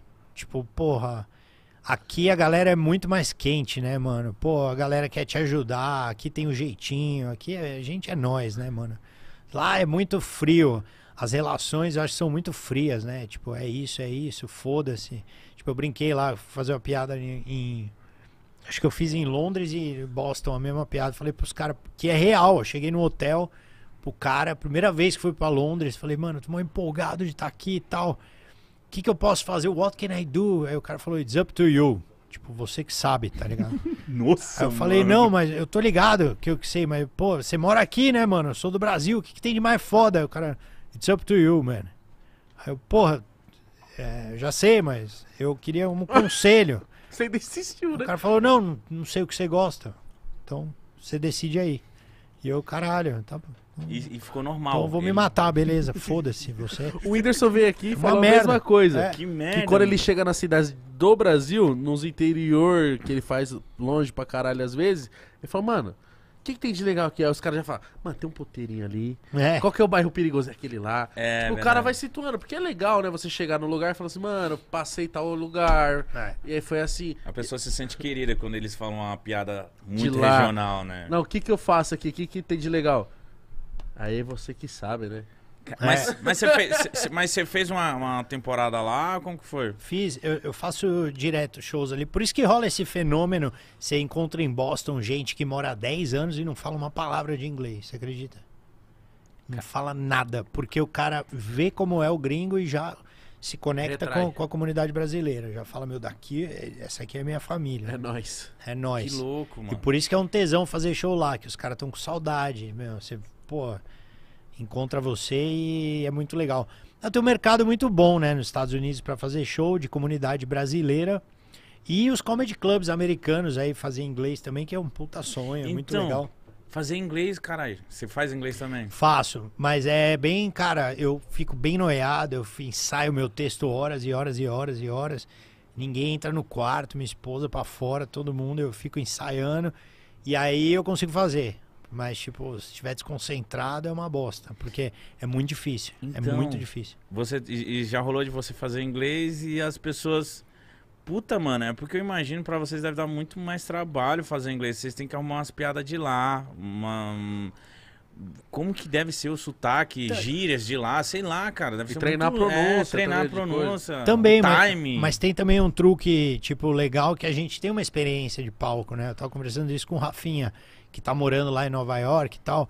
E às vezes, tipo, pô, o Rafinha faz. é, ele conseguiu entrar num, num comedy club que todos os caras fazem. O Seinfeld aparece lá, o Dave Chappelle, Chris Rock, não sei o quê.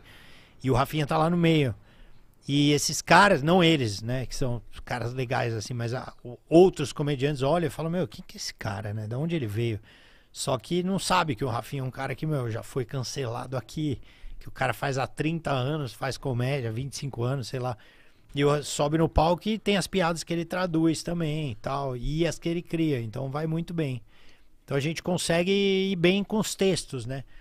Mas não é essa coisa orgânica de você brincar, improvisar, pelo menos comigo. Eu tenho que ir bem decoradinho, como se fosse uma peça de teatro. Aí eu entro e faço Às o vezes show. você não esquece, caralho. Já. Isso deve ser horroroso. Esquecer em Você não outra língua, sei lá. Não, quando você vai pro improviso, fudeu, cara. Eu uma vez estava fazendo show num bar no Canadá, em inglês, mandando bem e tal, rolando tudo certinho. Aí o filho da puta ligou o liquidificador, cara. O barman ligou o liquidificador e eu quis falar pro cara desligar em inglês. Mas eu não sabia. Eu falei, hey man, turn off the liquidificator. Aí, puta. Depois do show vieram me falar, ó, o que você quer falar é mixer, que chama, tá bom? Aí eu, tá, beleza. O garçom Porra. ficou olhando pra você, quê? Tem uma piada que eu fazer também no, em Londres, que é do, do Pensei, né? Que é uma piada que eu, que eu faço há muito tempo. Do, você conhece? Não, conta aí. Me conta. É que eu já contei a punchline, já fudeu a piada. Não, foda-se, nós é burro, né? Vai cair. É. Ah, mano. Não, é que é, mano. Ficou sem graça. Não, aí, mas aí é. Deixa pra. Não, é, mas eu vou resumir. É uma que eu falo, pô, eu tava com a minha mina no bar, não sei o quê. Chegaram os caras gigantes começaram a olhar pra ela, pá. E aí rolou isso aí. Os caras grandes começaram a olhar, mas meio do bop mesmo. Careca, tá ligado? Com tatu, armado, caralho. Isso rolou. Minha mina é gata. E aí, mano, eu, ela virou pra mim e falou, ó, os caras estão olhando pra mim aí. Aí eu falei, tem certeza? aí. Isso rolou mesmo. Ela falou, aham. Aí eu falei, mano, desencana dessas coisas. Foca em mim. Porque, né, mano, se, se, se as minas que estão vendo a gente aí, vou dar um toque. Se tiver com seu namorado, seu marido e um cara maior que ele olhar pra você, não fala, caralho. Porque senão você faz homem, a gente querer ser uma coisa que a gente não é, que é homem mesmo. E aí, mano, uma hora minha esposa tapou o decote e falou, ó, ele piscou pra mim. Ela falou, olha que ca- cagada, velho. E eu falo isso e ninguém acredita. Vocês viram o tamanho de vocês perto de mim? Eu sou pequeno, eu sou um bostinha. Mas eu juro, os caras do Garra a- apagou a luz. Eu só via sangue na minha frente, velho. Eu não sei como eu, eu não tô preso assim. Os seus arrombados do caralho! Sai andando do bar os dois! Senão eu vou matar pau no cu! Pensei.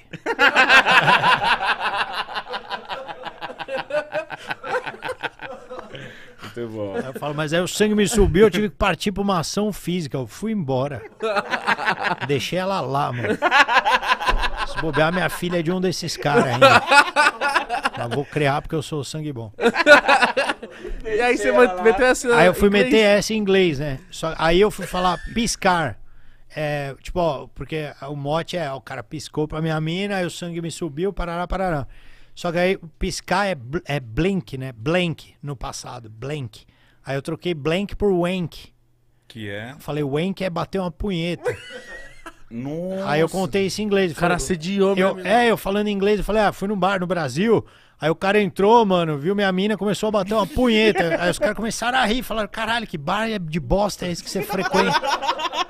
E aí a piada ainda vinha, e os caras rindo pra caralho. Eu, eu- Você eu- não tinha sacado? Eu não entendi, eu falei, por que, que vocês estão rindo, né? Não sei o quê. Aí, pô. Aí eu fiz a piada, ninguém riu da piada, porque estavam pensando ainda no caralho. Um absurdo da O cara punheta. levou a mina no swing, né? Ele- e aí no final me falaram, ó, o Wayne quer tocar uma punheta, não sei o quê. Deu, caralho, puta que pariu. Tem umas palavras que eu uso. Aqui no Brasil você pode falar retardado, sussa. Ah, você é retardado, você fala isso no show, não dá nada. Lá fora é um crime. Então, e eu falo no show. E ainda falo, mesmo sabendo que é um crime, eu falo. E a galera, oh! Mas é porque pra- Caralho, eu preciso dessa palavra pra minha piada. Então essa palavra lá é muito pesada? É muito pesada. Mas eu tô falando da minha filha, então tudo bem. é pra, pra piada, pra piada. É pesado, tanto é que em todos os streamings, assim, Twitch, Facebook, essa palavra é proibida. É, retarded. Porque lá tem muito. Ah, Sacanagem, os caras já vão. O cara nunca mais volta, né? cara, tava lá, tem muitos caras. Mano, mas. Eu não. Isso aqui é. Não, é que eles levam. É outro sentido, né, cara? Não É mais tem... pesado lá. É, tem umas palavras que culturalmente ali deu problema tal, então os caras não liberam. Mas essa piada eu faço e, e dá certo, mesmo sendo chocante, rola. Você... Mas lá os caras não gostam de um- uma parada chocante, assim? Muito. Nossa, cara, tem umas piadas. Caralho, tem uns caras lá que pega bonito, assim. Mano, eu já vi comediante Meu lá Deus falando do umas paradas que eu olho e falo, caralho, e a É. galera rachando o bico. Eu É. falo, puta, e, e- isso eu penso no, no futuro da sua profissão. Como que você vê o futuro do, do, de stand-up? Você vê crescendo, você vê ficando mais. hum, eu, não, eu não consigo, eu não imagino assim um futuro. Pra mim só, tem, só tá crescendo. Como que é a sua visão? Você Eu- que tá no começo, principalmente aqui no Brasil. Eu acho que tá crescendo, né? Porque sempre muda, né? E a rapaziada escreve muito texto novo. Acho que isso, isso é o legal da coisa, né? Sempre tem coisa diferente pra ver. Por isso que o stand-up merece um lugar no palco. Eu já fiz o teatro, né? Bastante. É um tesão. Por que, que é um tesão você ver uma peça de teatro? Porque você vê é, um ator construindo um personagem, botando um figurino. Porra, tem música, tem não sei o que, tem interação, tem risada, tem choro, tem não sei o quê. É um tesão. O stand-up merece ter um lugar no teatro porque os comediantes mudam o texto. E a plateia sempre tá afim de ver histórias novas, né? Então, e dar risada. Cara, quase arrotei no meio do bagulho bonito. Bagulho Filadélfia. É, É. mandei o Filadélfia. E é isso. Então, eu acho que enquanto os comediantes estiverem escrevendo piada nova, a plateia vai querer ver. Você fica de olho nos comediantes novos? Tipo, porque eu, eu Copio imagino. tudo. Não. Ô, mas antes falam que isso era mó normal rolar, né? Cópia, Copiar né? as piadas. Tem uns caras que copiam mesmo, viu? Você quer falar alguém aí? Meirelles, não.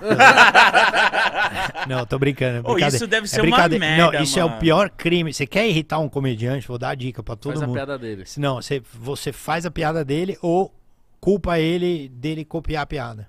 Fala, ó, você copia a piada. Isso é a pior ofensa que você pode fazer pra um comediante.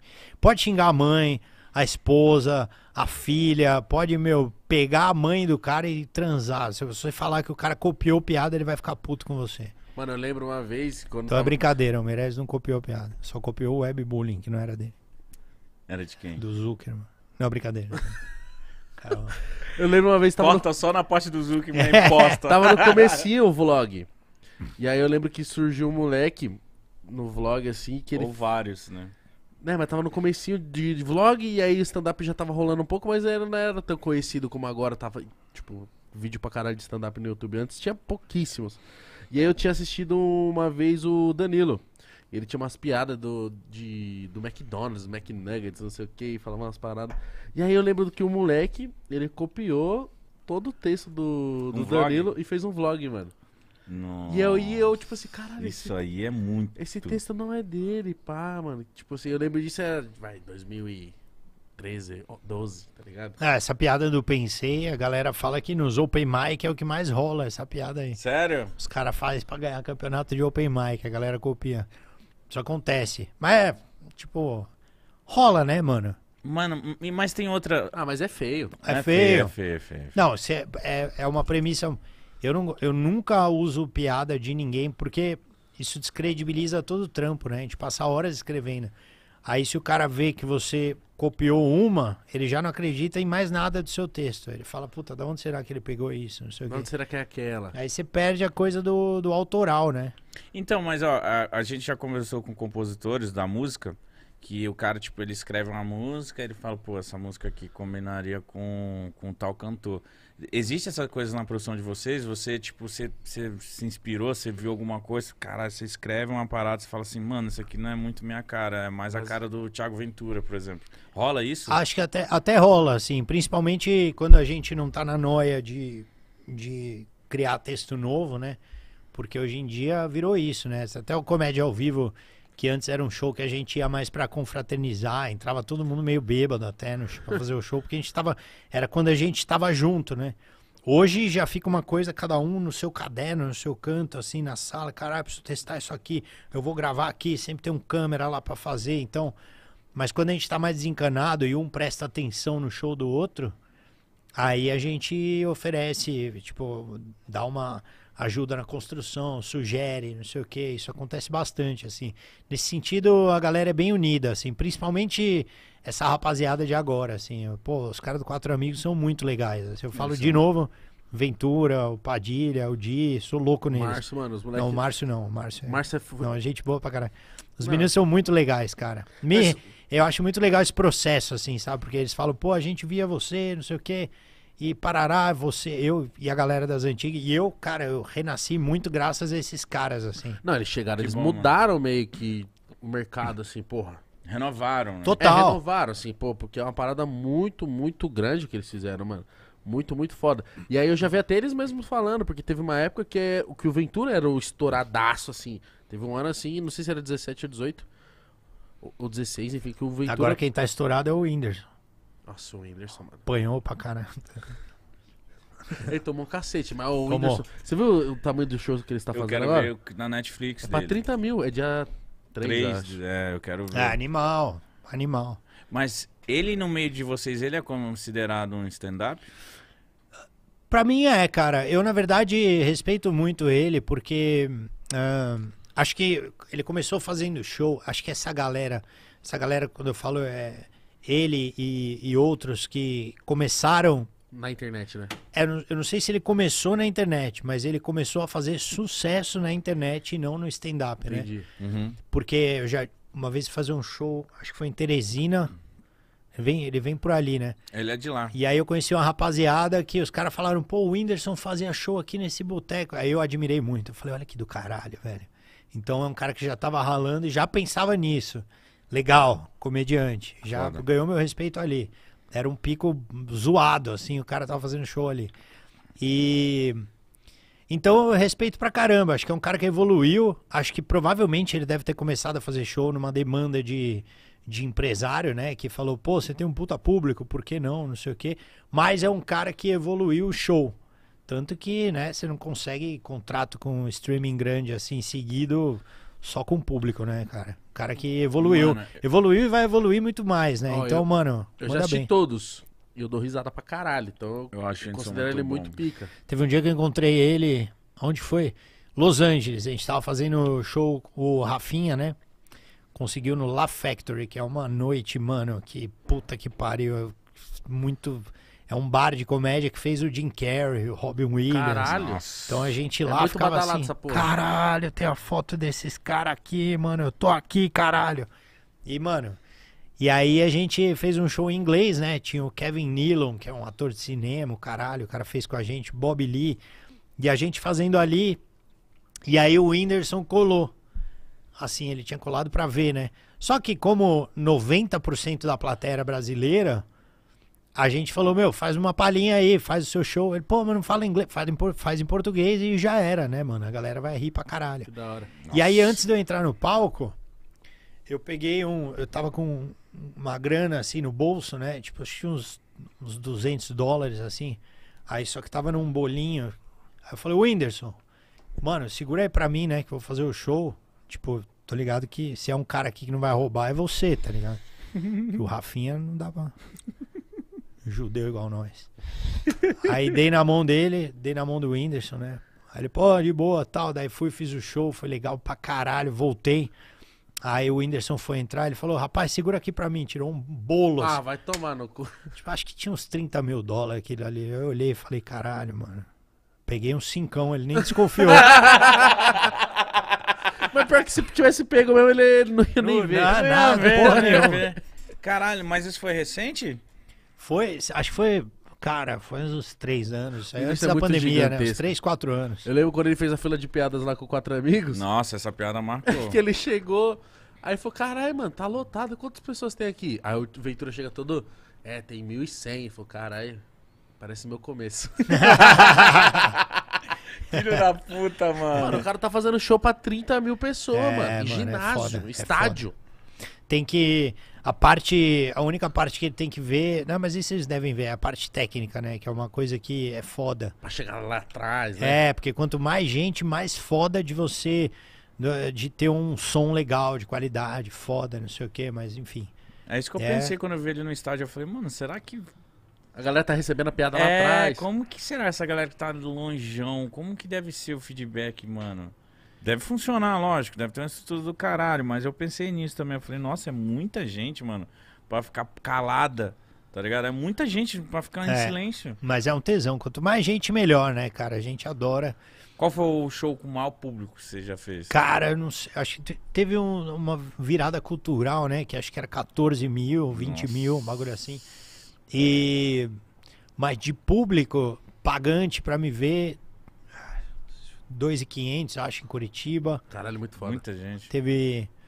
Que tem um teatro grande, né? Lá, o positivo e tal. Até gravei meu especial lá, mas deu uma. Falhou o áudio. Puta cagada. Os caras cagaram no áudio. Mas não soltou? Não. Aí eu re- tive que regravar na outra semana, correndo em São Paulo. E rolou e foi super legal.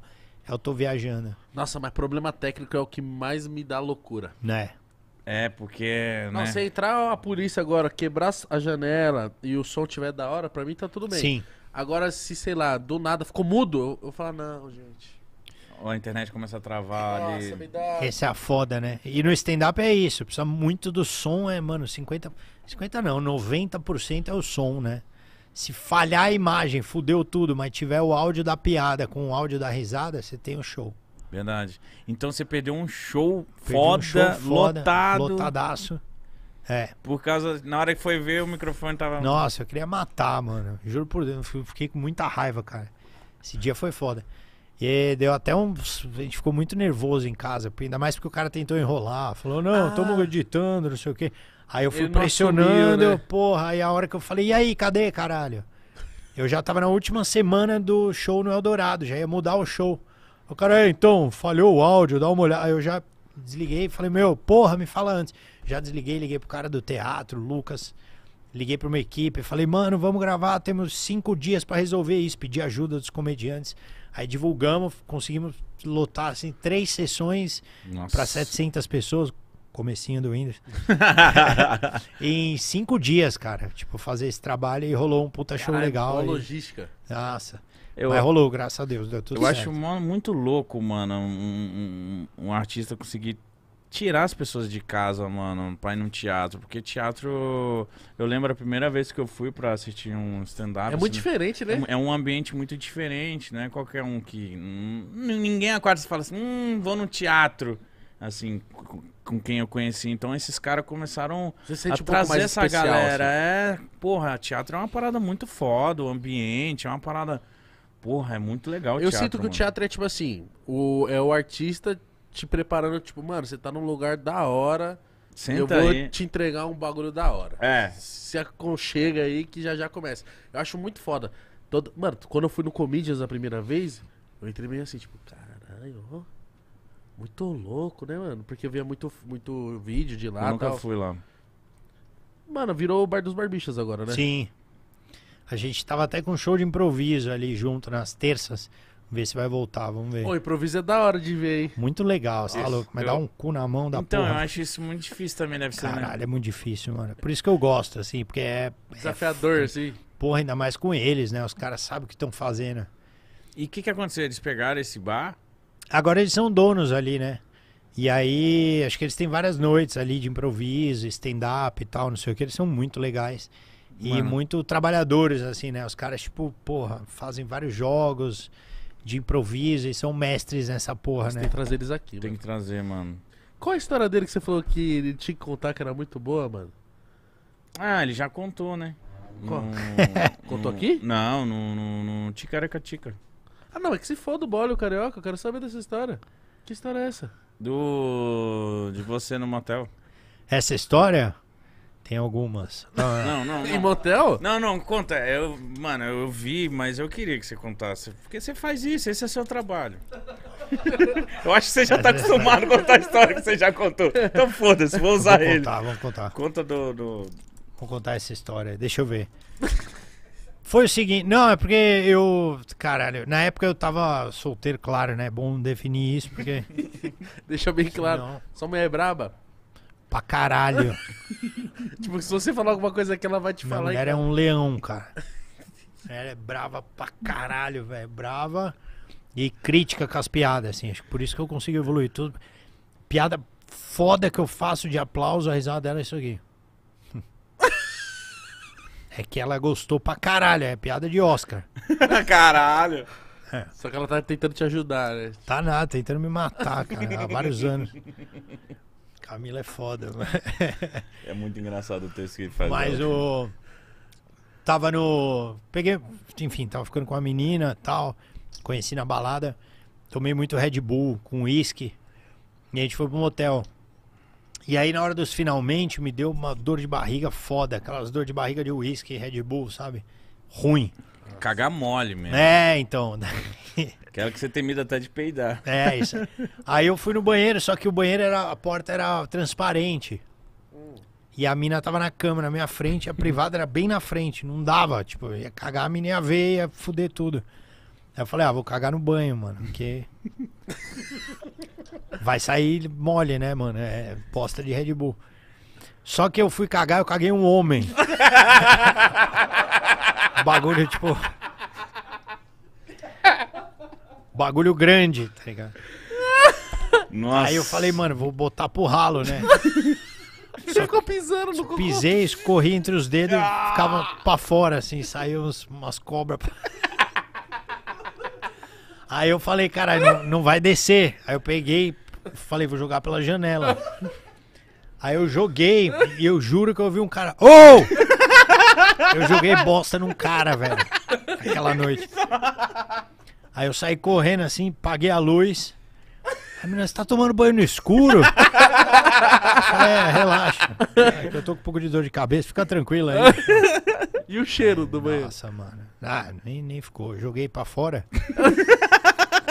Oh, O cara cagou no, no banho, Uma mano. cagada, velho. Meu Deus do céu. Mas já aconteceu outras coisas de você com cocô? Ah, sempre acontece, né, cara? É um cocô, acho que foi pou- poucas coisas. Mano, uma. é- é- essa. Eu nunca vou entender motel que tem porta de vidro. Uma vez eu já fui também com vontade de cagar e eu tive que cagar. E a porta era de vidro. Então, tipo, era muito. transparentação. É uma né? merda, porra. você Por tá que, cagando. que o banho. Mano, e às vezes é só o vaso sanitário e a ducha em outro lugar, a pia em outro lugar. É. O vaso sanitário tem uma porta de vidro. É que acho que tem uns filha da puta que tem fetiche em bosta, né? Ah, não, só pode, mano. Tem uma galera que nojenta, né? Mas tem uma história que eu contei faz só no jogo eu contei há muitos anos Caralho. e que é verdade isso aí. É a minha primeira vez. Posso contar aqui de novo, Por favor. porque foi caralho, eu era tipo muito Zezinho Ruela quando eu era mais novo, né? Acho que eu tinha uns 13 anos. Foi, foi a minha primeira vez que não aconteceu. Então eu tinha 13 anos quando você é judeu, você faz o bar mitzvah. Mano, como que é? Bar mitzvah, é, na religião você vira homem com 13 anos, né? Vira porra nenhuma. Tipo, mas uma você- transição. É, tipo, você, mano, você tem que ler as rezas da Torá e tal, não sei o quê. E a mulher com 12, né? Que no judaísmo a mulher é mais evoluída do que o homem. Então, é. Que absurdo. Tô brincando, cara. falo puta bagulho errado, né? Não, é verdade, por Qual isso é o nome que. daquele negócio que vocês usam? Que pá. Que pá. Achou da hora, mano. E aí, mano, é, fiz a reza assim, né? E, e sempre. É chiclete aqui, me nojento.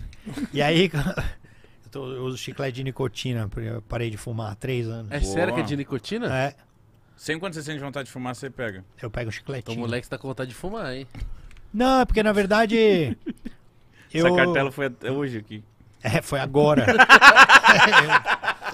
é caro, mano, essa porra. Um nicoretezinho, mas não fumo mais. Mas Que enfim, bom. aí fiz o bar mitzvah. É, aí chega aquele tio, né? Vai, vão dando um envelopinho de dinheiro. Aqui, ó, 50 conto tal. Aí vem um tio e falou: Ó, isso aqui, ó, você guarda. 65 reais, isso aqui é pra você perder a virgindade, mano. E ah, tá bom. Peguei o envelope, né? Guardei. Esse eu não dei pro meu pai botar na poupança. Guardei escondido. Aí beleza, aí um dia fomos numa uma baladinha, assim, né? Um barzinho, né? Eu fui com os amigos, que era Com aniversário. 13? Com, com 13 anos. fui pra um bar, tudo errado, tudo errado. Eu, com 14 anos, eu roubava o carro do meu pai, cara. Caralho, com 13 Você anos. foi esses filhos, filha da puta, que roubava o carro roubava do o pai. carro do pai, Filha da 14 anos. puta. Eu roubava pra caralho o carro dele.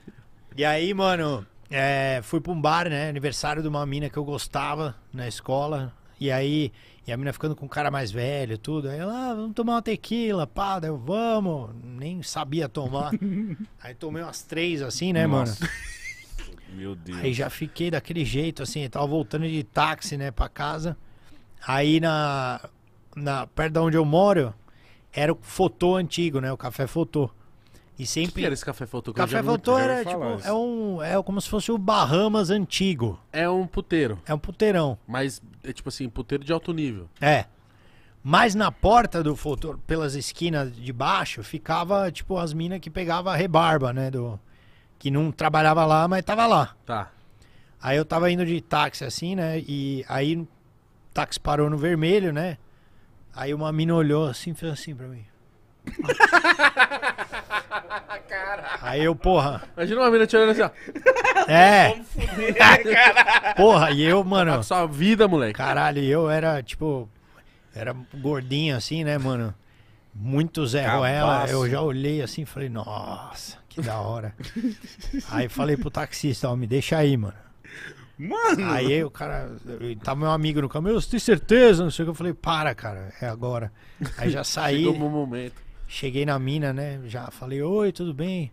Ela, oi, gato, beleza, não sei o que tal. Falei, não, tudo ótimo, tal, não sei o que. Como é que funciona aí, né? o, o business.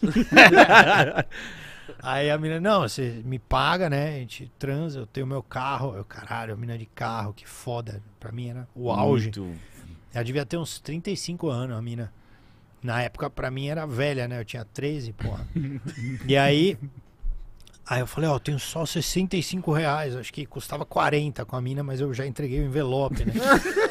Fech- Fechado. é, era cruzeiro ainda o dinheiro, nem lembro. quanto que- Aí dei o dinheiro pra mina. Ó, tenho só 65. Ela, caralho, o bagulho era 20. Aí a mina, meu, vamos no carro tal. Aí a gente foi num drive-in, né? Que, tipo, não pedia documento, porra nenhuma. Fomos de carro no drive-in. E aí, mano, a mina começou a tirar a roupa e eu, caralho, travadaço, parecia filme, né, mano? Eu, nossa, que animal, a mina com o peito pra fora, o caralho. Aí a mina tirou a calcinha e tal, não sei o que, e eu não me mexia. "Ah, Mas você não vai fazer nada? Eu, não, claro. Ela, vou te relaxar, ela botou a música do Ghost na época, lembra? Nossa, mano. Oh, my love.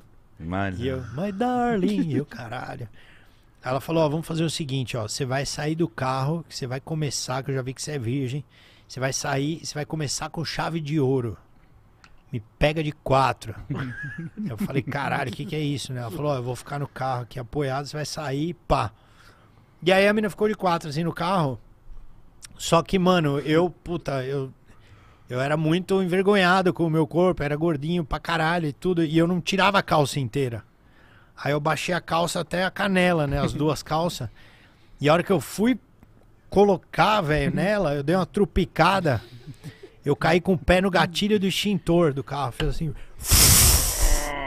E a puta ficou branca, velho. Te juro. A puta ficou brancaça, assim. branca. Gasparzinho total. Caralho. puta, né? Nossa, falou assim, meu, sai do carro, vai tomar no seu cu, vai embora. Você é um bosta, cara. tipo, xingando pra caralho, assim. Eu voltei a pé do drive-in, não tinha nem dinheiro pra voltar. E 65 conto com ela. Era na Santo Amaro, eu andei uns cinco quarteirão, assim, triste, pensando, mano, o que eu vou falar pros caras, hein, mano? Porque, porque o cara da minha escola tava no táxi, né? Ele viu que eu fiquei. Ele viu, mano. E ele ia falar. E no dia seguinte cheguei na escola, os caras já esperando. Caralho, você foi mesmo, mano. E aí, como é que foi? Eu, mano, regacei a mina, velho. Você mentiu? Regacei, destruí a mina. Eu falei, Todo homem faz isso. a mina ficou branca de tanta porra. Não, mas a mina me colocar. Oh. Não, mas... Mereceu virar o Ghost, né? Virou o Ghost. Mas você perdeu o cabaço com quantos anos? Depois de sair. Já era um trauma no homem, Nossa, né? cara, nem lembro. Depois, esse caralho, eu não lembro da minha primeira vez. Essa me deu tanto trauma que eu não lembro aonde, com, com quem foi a primeira Eu vez. imaginei ele Caralho. tropicando com as calças no pé. Não, me deu um puta trauma, cara. Puta trauma. Acho que depois, sei lá, acho que eu fui meio que na urgência, assim, caralho, eu preciso conseguir de alguma forma. Então, quando acontece isso, o homem ele fica travado, filho. que não consegue transar de novo. E, e a, a pior, a pior coisa é quando a gente é criança e sempre tem aquele tio filho da puta que quer levar a gente no puteiro, mano. É, mano. Esse, não, os caras só me deu envelope, graças a Deus. Mas eu era muito, eu era mó idiota, cara. Eu era, eu era meio, eu sempre fui o cara mais novo assim das turmas que eu, que eu andava da Mas você galera. era nerdola, bobão? O que que você era? Não sei, cara. eu Acho que eu era meio trouxa. Eu era meio, não sei o que que era, cara. Você Mas era criança, né? É, eu era criança, era muito novo. Eu tinha uns amigos de 15, 16 anos, eu tinha 13, tá ligado? É, um dia os caras falaram, meu, vamos numa balada. Eu falei, caralho, balada, vamos, vamos aí, né? Como é que é isso aí? Não, é uma bem legal, meu, uma balada que a galera fica de calcinha, e sutiã tal. E eu não tinha me ligado, fomos numa balada na Augusta. e eu passei a noite beijando uma puta. Os caras me avisaram. Os caras, tipo, ah, os caras rindo, eu, caralho, esses caras rindo, me dando mal bem, assim. A menina tinha acabado de chupar o segurança, tá? E eu, mano, caralho, caras não estão pegando ninguém, esses otários. Sou foda! É, sou fodão. Eu sou mais novo. Eu era um otário. né? Eu era meio, meio. Se liga no novato Ah. aqui, pai. Eu entrei numa escola, assisti uma semana de aula na sala errada. cara. Como assim? Eu fui. Eu entrei numa escola que era meio de. A galera tinha repetido uns anos e era tudo mais alto, assim, né? E aí eu entrei meio perdido, sentei numa sala lá, mano. Comecei a assistir a aula e nunca me chama, botar meu nome na chamada, né? Eu falava, ah, acho que né, eu sou novo e tal. E Tô ia lá. sistema. É, trocando ideia com a rapaziada e tal. e tava achando foda ainda a matéria. E aí, mano, um dia no intervalo, um cara chegou grandão assim, falou, e aí, mano, como é que você chama, né? Eu Falei, "Ah, eu sou o Fábio. O cara, Fábio Rabin? Falei, sou eu. Meu, que você tá fazendo com ele? Você tá na minha sala. Falei, como assim tô na sua sala? Eu, eu tô na sétima. O cara que tava do meu lado falou, você tá na sétima? Caralho, a gente tá na quinta. Eu falei, caralho, você tá me zoando. Mano, os caras fizeram tipo um corredor polonês, assim, comigo, me espancaram no bagulho. Eu, era, eu virei, tipo, alvo de espancamento. Eu sofria um bullying. Bullying, mano. Sério? Quer falar de boa? Tomar uma cadeirada, um bagulho forte, assim. Mas por quê? Não, os caras eram loucos, mano. Os caras ali, mano, fiava porrada. mesmo. Caralho, esse cara, porra. E soco na costela, o caralho. Só porque você era um gordinho? Porque eu era um animal. É, eu tinha cara de otário mesmo e fazia cagada, essas merda. E aí apanhava pra caralho. Aí teve um dia que eu fui pra essa escola aí, mano, antes de entrar, eu comecei a chorar. Tá ligado? Ô, caralho. Meu pai, que foi, meu? Falei, não, os caras tá foda aí. Meu pai, meu, você tem que virar homem. Pô. Eu sei, mas ó, eu levantei aqui cheio de roxo. Meu pai, caralho, assassino do caralho, entrou na escola já. A diretora falou: você não pode fugir dos seus problemas, meu pai, vai tomar no seu cu. Essa porra dessa febem aqui do caralho. Aí, mano, eu saí da escola, aí eu fui pra uma escola Não nova. devia tá rindo, tá? Não. Não, eu fui pra uma escola nova, de, aí, escola de judeu, cara, os caras já bem receptivos e tal. E aí fiz meus melhores amigos, assim, até hoje. E aí cheguei, fazer umas cagadas. Tipo, cheguei nessa escola, fiz amizade com duas minas, assim, né? Que eu, caralho, tô conversando com umas minas, que legal, fiquei mó empolgado. Aí uma delas chamava Getty, o nome da mina. Get? É, e aí a galera chegou no intervalo pra mim, um nome estranho, meio israelense e tal. E aí uma galera chegou pra mim e falou: Ó, meu, sábado vai ter festa surpresa da Get. Aí eu, caralho, é pra eu ir? É pra você ir. Daí eu, porra, tá bom. Aí eu cheguei no intervalo, não virei pra essa mina, falei, ô meu, tô meio bravo com você, hein, cara. A mina, por quê? Eu falei, não, achei que a gente era amigo, você não me chamou pra sua festa surpresa. Não. Estraguei a festa. Eu era burro, mano. Eu fazia Era umas sonso. cagadas, eu era meio sonso. Eu nunca não sabia o que era uma festa surpresa. Eu podia ter apanhado ali, mas não me bateram, graças a Deus. Então a, a comédia te salvou. Depois de um tempo, eu comecei a. Eu perdi um pouco de peso, comecei a fazer umas coisas e eu passei a fazer bullying com algumas pessoas. Acho que como resposta de muita coisa que acontecia, Agora eu sou eu comecei, é, eu comecei a responder as pessoas, só que eu percebia que eu ia um pouco pesada. Tipo, o cara brincava comigo a partir da sexta, sétima, depois que eu saí daquela escola. Eu, o cara brincava comigo, eu botava pra chorar. Ah, só no verbo. apelava. Só no verbo. É, tipo, eu acaba, acabava indo demais. Tipo, o cara fala, você vai, Rabinho, aí você vai, vai tomar que você morreu de câncer. Não, não, não, não era tão pesado. Eu, era, eu, eu ia no, no- numa coisa meio que característica da pessoa, entendeu? Só que acabava pegando. Pegar pesado, assim. E. E aí eu virei o cara que. Eu comecei a ser esse cara que fazia bullying, mas depois me segurei minha onda. E aí, enfim, mais pra frente achei. o- E como, como, como que foi pra você, Mas tipo eu me assim... fudi em escola muito. É, então, Mano, mas... esse lance, caralho, todo roxo. Apanhar, é, isso, isso é foda, mano. Isso é foda. Já passou por Apanha- isso, isso é horroroso. Você apanhar na escola. Mas, tipo assim, eu pergunto isso pra todo comediante, pra músico, mas como que você foi descobrindo, cara? Desde criança as pessoas ficavam falando pra você, porra, velho, você é muito engraçado, você é um cara engraçado. Como foi pra você descobrir, pra você poder trabalhar com a comédia? Não sei, eu acho que na verdade nunca tive isso, né, cara? Acho que eu, o Seinfeld fala um bagulho engraçado, que ele fala, meu, pô, você pergunta pra mim se eu sou muito engraçado, eu falo, meu, tenho vários amigos muito mais engraçados, mas eu resolvi trabalhar com isso. Tipo, acho que era um cara que, sim, é, principalmente ali pela adolescência, falava muita merda, a galera ria pra caralho e tal, mas tinha outros caras também que riam tanto quanto, né? É, no teatro, quando eu comecei a fazer, por alguma razão eu fazia cenas e todo mundo ria de tudo que eu fazia. E eu não queria isso. Eu queria fazer. Tava Sério? fazendo uma cena trágica, o caralho, e a galera dando risada. E eu nunca entendi por quê. E os caras falavam, ó, isso é uma facilidade que você tem, você faz comédia fácil. Tenta fazer outra coisa, né? Isso aí é fácil pra você. Eu, pô, lógico. E eu tentei fazer drama, tragédia, o caralho, mas uma hora eu precisei E sobreviver. E aí eu me entreguei pra comédia. Nossa, então antes você queria ser muito ator, muito. Eu queria ser ator de, pô, é, de fazer personagem, o caralho, fazer as pessoas chorar, fazer não sei o quê. Mas, cara, a comédia é a coisa mais maravilhosa do mundo, assim. Acho que essa coisa que você tava falando de ir no teatro. Eu lembro um dia que eu tava numa ressaca crônica, assim, mal pra caralho. Eu nem pensava em fazer stand-up. Aí eu fui ver uma peça do grupo Parlapatões, de comédia. E eu entrei com uma dor de cabeça, assim, desgraçada, cara. Eu, eu comecei a rir, comecei a rir. Aquilo foi me curando. Eu falei, caralho, velho. Que foda É, isso. bom pra caralho dar risada. Que Porra, é isso? um bagulho mágico, tá ligado? E, e aí eu me apaixonei. Até hoje é assim. Tipo, teve uma época que eu era mais solteiro, mais noia. Ia fazer show com umas ressaca fenomenal, assim. Nossa, você bebia muito? Pra caralho, velho. Porra, mas não, não antes do show, que eu sempre. Mas já cheguei. Não, já, já aconteceu, mas já cheguei muito ressacado. Já cheguei de fazer show e no intervalo vomitar num balde. Caralho, então era muita pinga. E depois do show eu saí novo. Falei, caralho, caralho, eu tô curado. Como é que pode, velho? Como é que pode essa porra? Eu não sei lá o que, que libera, mas você já fez show bêbado? Já. Nossa. Já. De não lembrar as piadas que você fez. Não, mas meio que de. Eu já fiz. Teve um show que eu fiz que eu, eu tomei muito, cara. Tomei muito uísque. E aí eu lembro que eu suava pra caralho, enrolava a língua e não foi muito legal, não. E aí parei. Aí eu, da outra vez tomei um ácido, não foi bom também. Eu tava de ressaca de ácido. Eu derretia, eu suava, cara.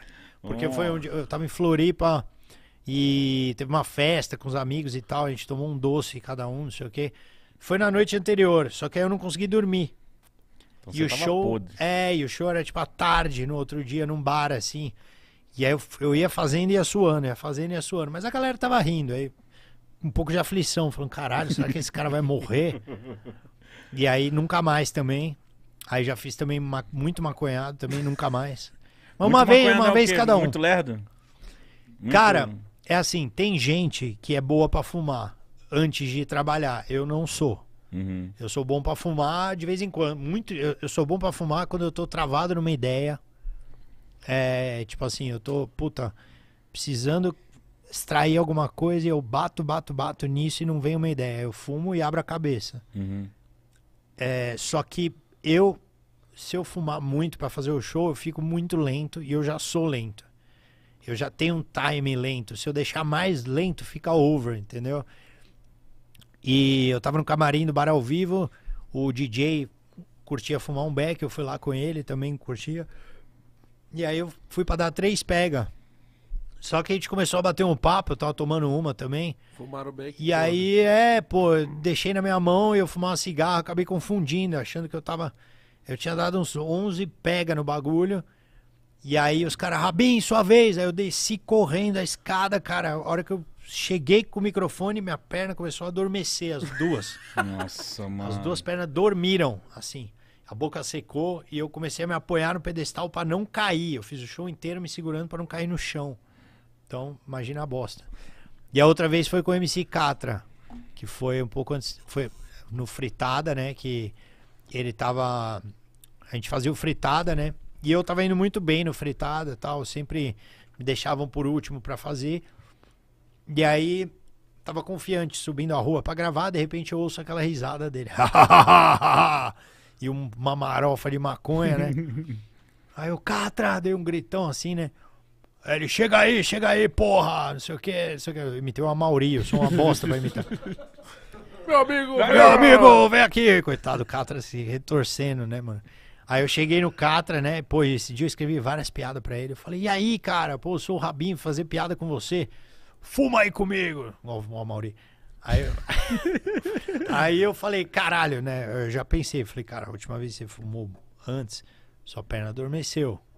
Vá fumar agora, né? Mas você é negado do Catra? Exatamente. Aí eu falei, mano, pô, Catra, caralho, que dia que você vai ter essa história pra contar? Pau no cu do programa da TV. Bora, Catra. Só que, mano, eu dei três pega, foi três pega que eu dei. Só que o baseado do Catra, mano, é um negócio que eu nunca vi na minha vida, assim. Bateu. Não, é um negócio que, meu, o Bob Marley ia falar, caralho, Catra. É, é Ele muito. também fala igual o Cato. É muito. Todo mundo fala igual a Mari Júnior. Caralho. Mano, é muito pesado, velho.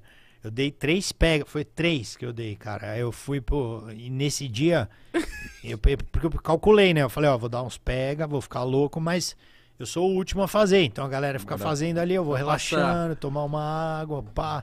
Nesse dia, velho, falaram pra mim, ó, você é o primeiro. Não. Aí eu, caralho, caralho. Aí a boca já. Aí eu, aí eu falei, tem uma água. Aí os caras, não tem água, não tem água hoje. Eu falei, cara, como não? Vai, não sei o que, gravando. Puta que pariu. Daí já tava a Nossa. plateia inteira. Eu olhava pras câmeras, cara, pareciam que eram armas apontadas pra mim. E a plateia, e Mano, a TV, e o bagulho, mano. E eu. Aí eu tentava falar, o Catra tem vários filhos, que é muito comum na família dos hipopótamos. Tentava dar as piadas e não. E, que nem um doente, mano. Aí eu, água, água! Aí eu pedi uma água, essa parte não tá no ar, me deram uma água e o Catra. Já sabe o que, que é. rindo de lá do fundo. Aí o seu hipopótamo do caralho. Tem isso no YouTube. Traficante da porra. Eu comecei a zoar ele. Eu, Traficante de eu criança. falo fumei um coelho, caralho. Tem no YouTube. Ah, eu vou fritada com procurar isso aí, mano. Vou procurar isso aí. Aí eu falo, eu falo que eu dei uns pega com ele, uma coisa assim. Que ele vende back. Eu comecei a zoar ele pra caralho. Mas, nossa, me deu um cagaço. Achei que ia cair, velho. Vou Puta que assistir pariu. esse do Catherine. Mano, ele devia ser loucaço então no começo da carreira dele. Muito. Mas Foi muito, é muito. em que nível? De fazer o quê? Cara, eu. Na verdade é o seguinte, eu, você imagina, né? Eu tenho. Aconteceu comigo uma coisa parecida com o Bento, né? Eu era um cara que eu era um cara zoado pra caralho, fora de forma pra porra. De repente eu emagreci e tava no palco, fazendo show. Então, digamos que eu aproveitei muito essa parte. Não no sentido de. Mas eu era um cara que, meu. Caralho, eu tomava o bar, tá ligado? Que eu fazia show. Caralho. Eu tomava o bar, ficava lá com o dono, tomava com o garçom, saía pra balada com o garçom. Eu era loucão, mano. Chegava numa cidade pra fazer show, eu ia, desbravava a cidade. Mano, com- hum, era muita loucura, assim. Me diverti pra caralho, entendeu? Mas Foi mas, bom. Mas às vezes não era um- Foi bom, uma mas- vontade de, tipo, tirar esse atraso. Ah, fui muito Eu acho que era, cara. porra. É, né? Agora eu tô no. Agora eu Tô que tô aqui. dinheiro, Vou tô, embora. tô- Nossa, eu, eu acho que isso é o natural, mano. O cara dá uma despirocadinha. É, eu, eu, eu era um cara um pouco menos focado, assim, digamos assim. Eu trabalhava pra caralho, assim, escrevia bastante e tal, não sei o quê. Mas eu era bem, cara, é, aproveitei bastante, assim, essa, essa fase, assim, de, pô, onde eu viajava eu saía, vai fazer show em Manaus, pô, foda-se, vou no forró de Manaus, só tem forró? Vamos no forró. Ia no forró da cidade, tipo, só, mano, tranqueira, domingão, eu lá no meio, eita porra! Rodando, tomando todas. Cara, axé na Bahia, ia pra puta que pariu. Eu, meu, eu saía, velho.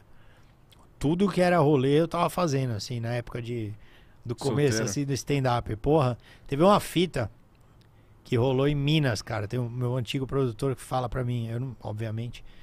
Domingo eu fazendo show em Minas Gerais, BH. Olha a noia do idiota, né? Caralho, acabou o show, legal, porra. O que, que tem pra fazer hoje pro produtor? O cara, uai, hoje aqui em BH tá morto, né? O show acabou aqui. Agora 10 horas. Fiz o Amauri Mineiro. Aí eu falei, porra, sério? Não, não é possível, cara. Nós estamos em BH, não vai ter nada aqui. Uai, tem uma festa do. Só que você não vai gostar, uma festa do judô. Falei, que festa do judô, mano. Que porra é essa? Fala, lá na Savassi, sei lá, o bairro do caralho. nome horroroso. É! Não, é, tava tendo um campeonato sul-americano de judô. E todas as equipes de judô estavam nessa balada.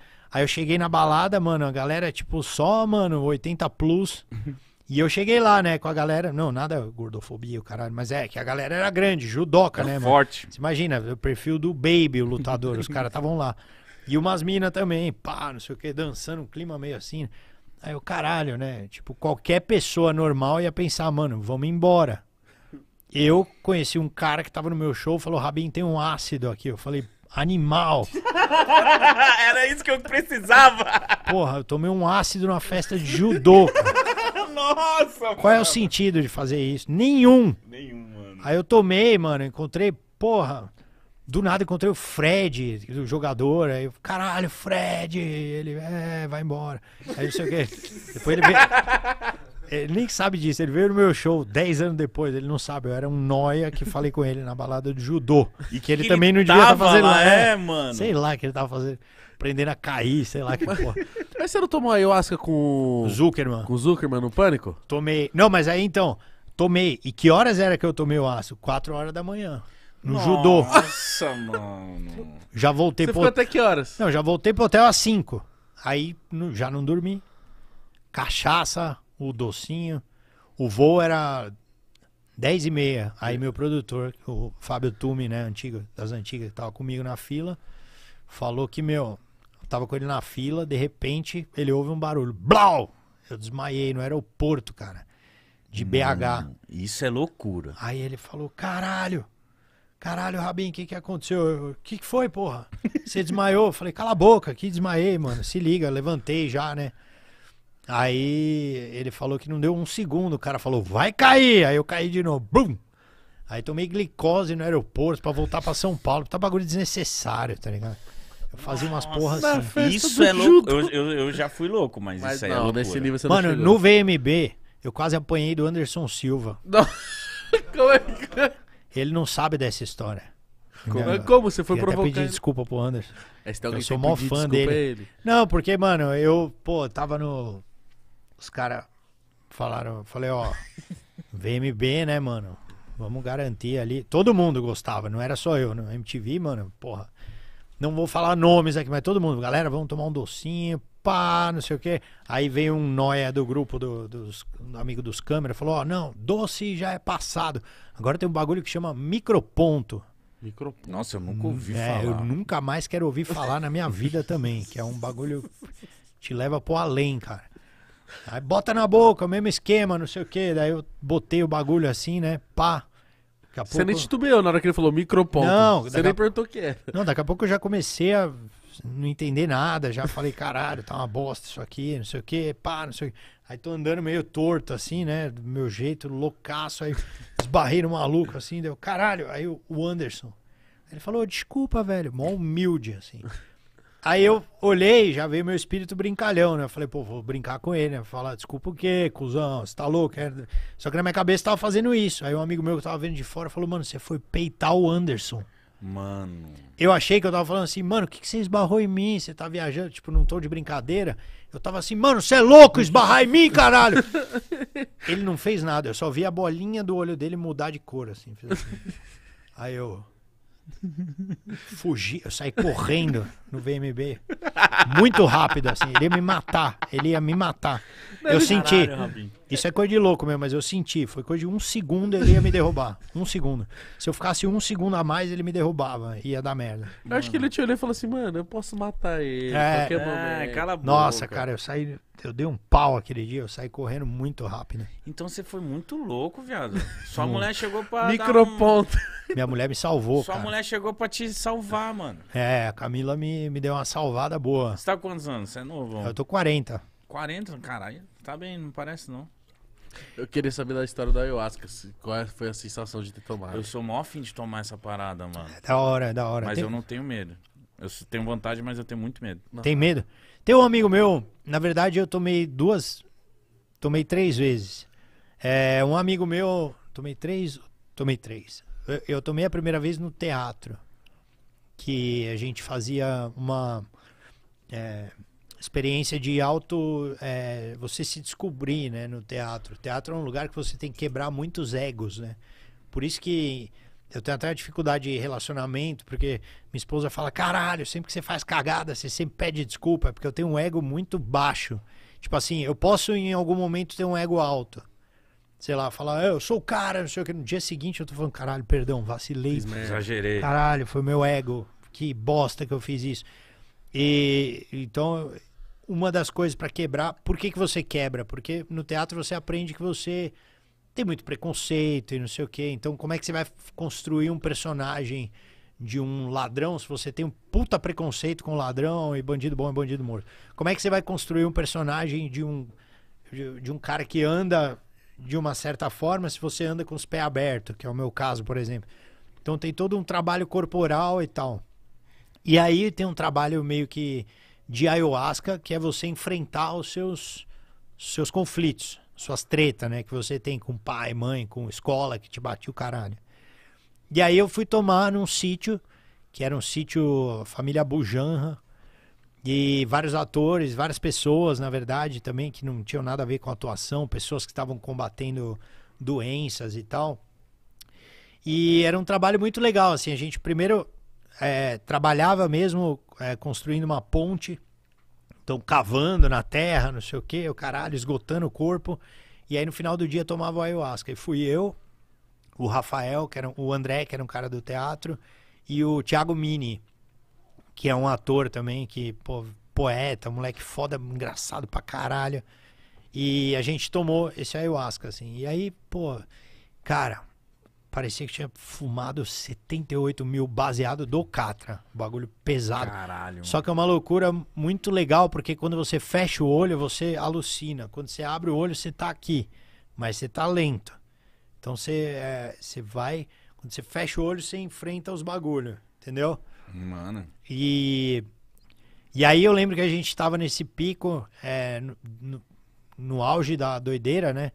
E tinha uma pessoa que tava meio que conduzindo essa cerimônia do ayahuasca.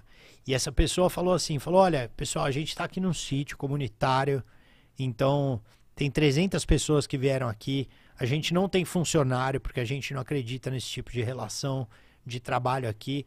Então aqui as pessoas fazem tudo de uma forma voluntária. Os banheiros estão todos sujos. Teve gente que, pô, passa mal, né? Enfim, cagaram, vomitaram tudo. Tem alguém aqui que se oferece pra limpar esse banheiro, os banheiros? E aí, mano, o meu amigo japonesinho fez isso aqui. O Thiago Mini fez assim. Aí eu olhei e falei, caralho, né, mano? Moleque do bem, né? Vai limpar o banheiro, tá bom, né? Eu olhei, tá bom. Caralho. E aí, beleza. E aí, uma hora ela perguntava pra cada um, né? Falava o que, que vocês sentiam tal. Daí eu falei, puta, encontrei, vi várias imagens que pra mim significaram tretas do passado. Aí o outro falou, caralho, eu descobri, não sei o que, encontrei minha alma, eu vi Jesus. E você, Tiago? Ele falou, "Ah, mano, sei lá, tava mal bem do nada, eu quis limpar um banheiro.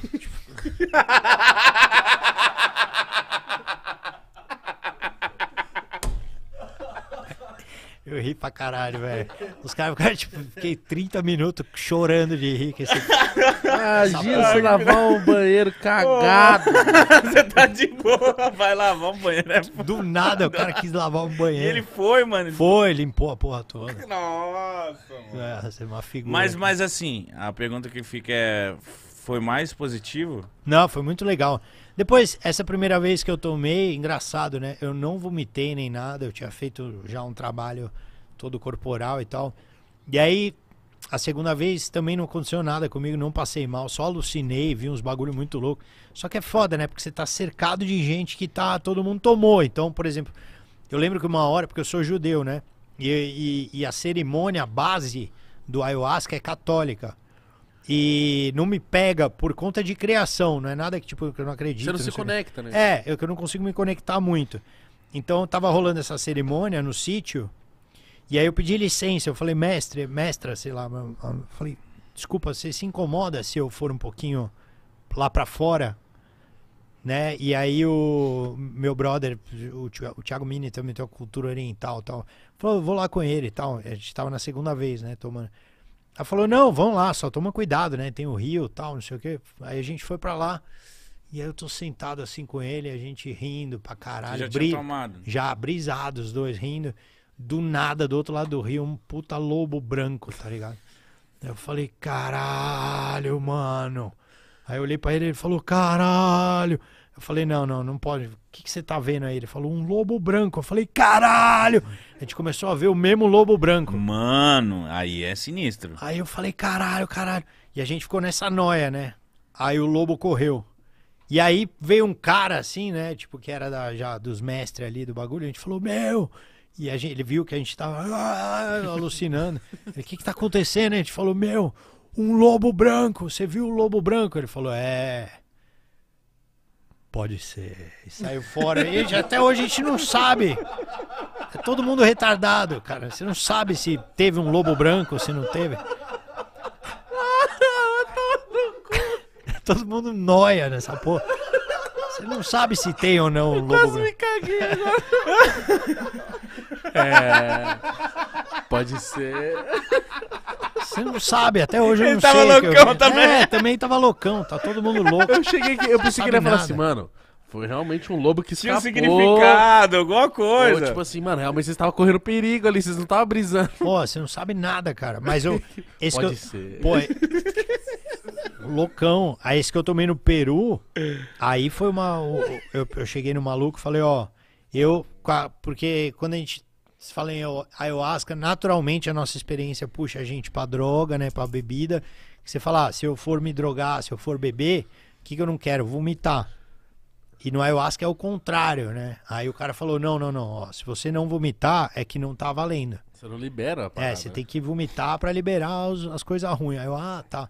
Aí nesse do Peru, eu, meu, Vomitou pra caralho. vomitava, cagava pra caralho, que nem um louco.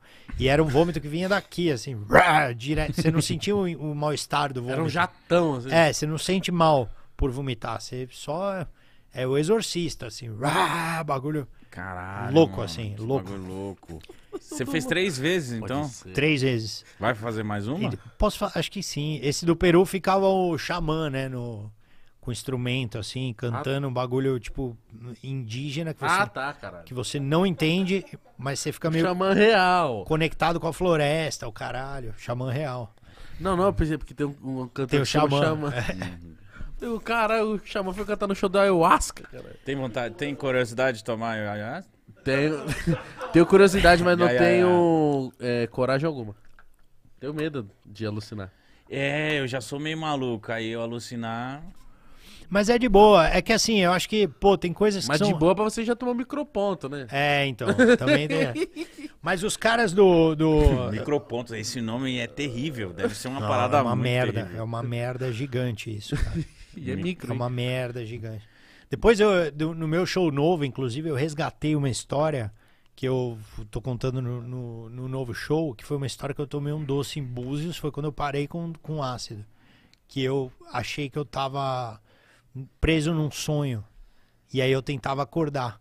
Nossa, que horrível. E aí eu quebrei meu cartão, tirei minha roupa, dei um salto mortal no meio da galera, peguei um, peguei um policial pelo pescoço, quase morri.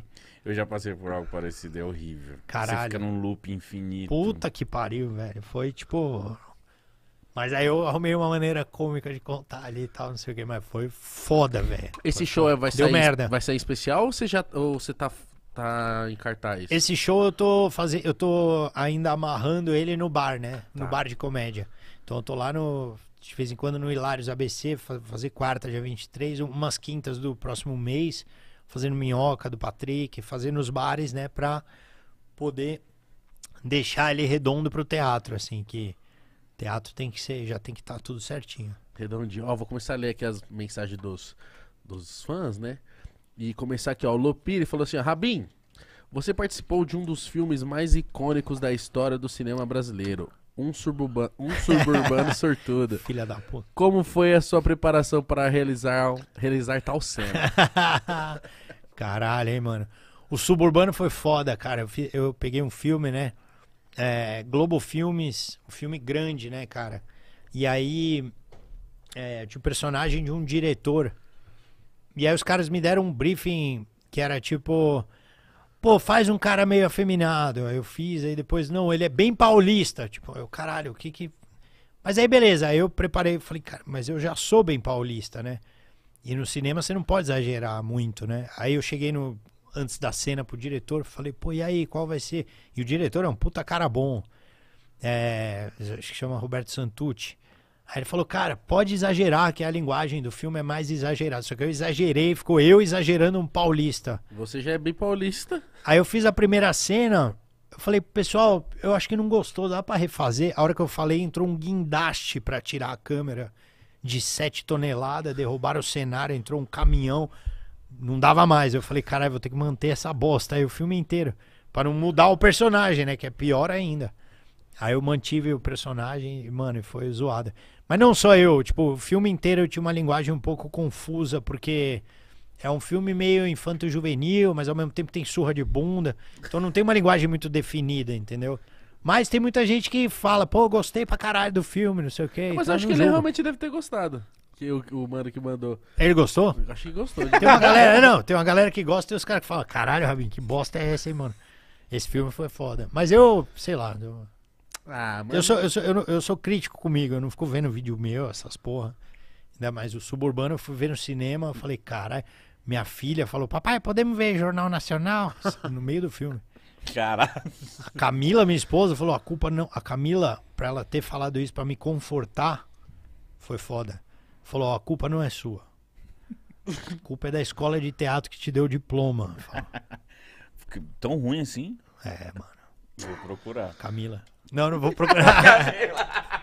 Ó, o Falbo falou aqui, ó. Rabin, vo- você enxerga a liberdade criativa que vocês tinham na época da MTV acontecendo de novo em alguma outra plataforma que não a TV? Muito. Acho que esses streamings, né, cara, eles eles estão aí pra para dar essa possibilidade, né? Eu acho que talvez, eu não sei se estou falando merda, né? É bem possível. Às vezes eu falo, mas talvez a profissão de roteirista tem que ser mais valorizada no Brasil, né? Porque é, hoje em dia acho que são poucos roteiristas que ganham muito bem, né? Você vai contratar os caras do cinema que funcionam, o cara já, meu, só tem trabalho para 2000. O cara vai falar, só posso te atender em 2030. E você tem que dar mais oportunidade para novos roteiristas, para juntar uma sala de roteirista ganhando bem, né? Uma coisa que me deixou bem. É, porque eu gosto de escrever, né? Não só pra comédia. Às vezes eu tento arriscar, escrever um filme, uma coisa, não sei o quê. E quando eu vejo essas séries muito foda, né? Tipo Breaking Bad, não sei o quê, eu falo, mano, eu sou um lixo, velho. Eu nunca vou conseguir fazer porra nenhuma nesse nível. Mas aí, quando você vai ver a fundo, esses caras têm 100 Isso que roteiristas. eu falaram, escreveram Ah, sozinho nem escreve- fodendo. É. Deve ser uma puta reunião, puta preparo do Esse negócio caralho. gigante. O Breaking Bad não fala não, nossa, é muito bom. É, Só mas que eu é. acho que aqui a gente tem que ter essa cultura, né? Não sei se tem esse orçamento pra chegar e falar, ó, a gente precisa de 30 roteiristas. Cada um de um jeito. Mano, ia sair uma parada muito louca. Pois é, então. Precisamos de um homem, precisamos de uma mulher, precisamos de um judeu, um católico, um cara da- do candomblé, Várias um visões. espírita, não sei o quê. um- Mano, e pra, fazer, pra criar um negócio louco. Ia eu fazer acho uma que parada muito louca. tem que ter uma parada assim. Tem que ter. O Júnior falou aqui, ó. Rabin, o Neto mencionou você nos Donos da Bola hoje.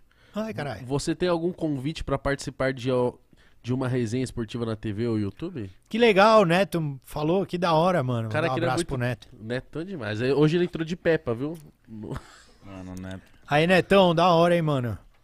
Pô, que legal. Qual foi a pergunta? Fiquei feliz com o Neto só. Ele cagou que você falou, Porque "Ô, foi- Neto, da o hora, Neto já nós- colou no show também, pô, Ele da hora. Neto é Falou foda. assim. Eu zoei ele pra caralho. Falei, pô, o maior batedor de falta foi, sem dúvida, o Rogério, com ele no palco. Eu falei, não, mas depois disso foi o Raí, depois o Reinaldo, Cara, e Reinaldo. agora o Igor Vinícius, melhor. Não, tô.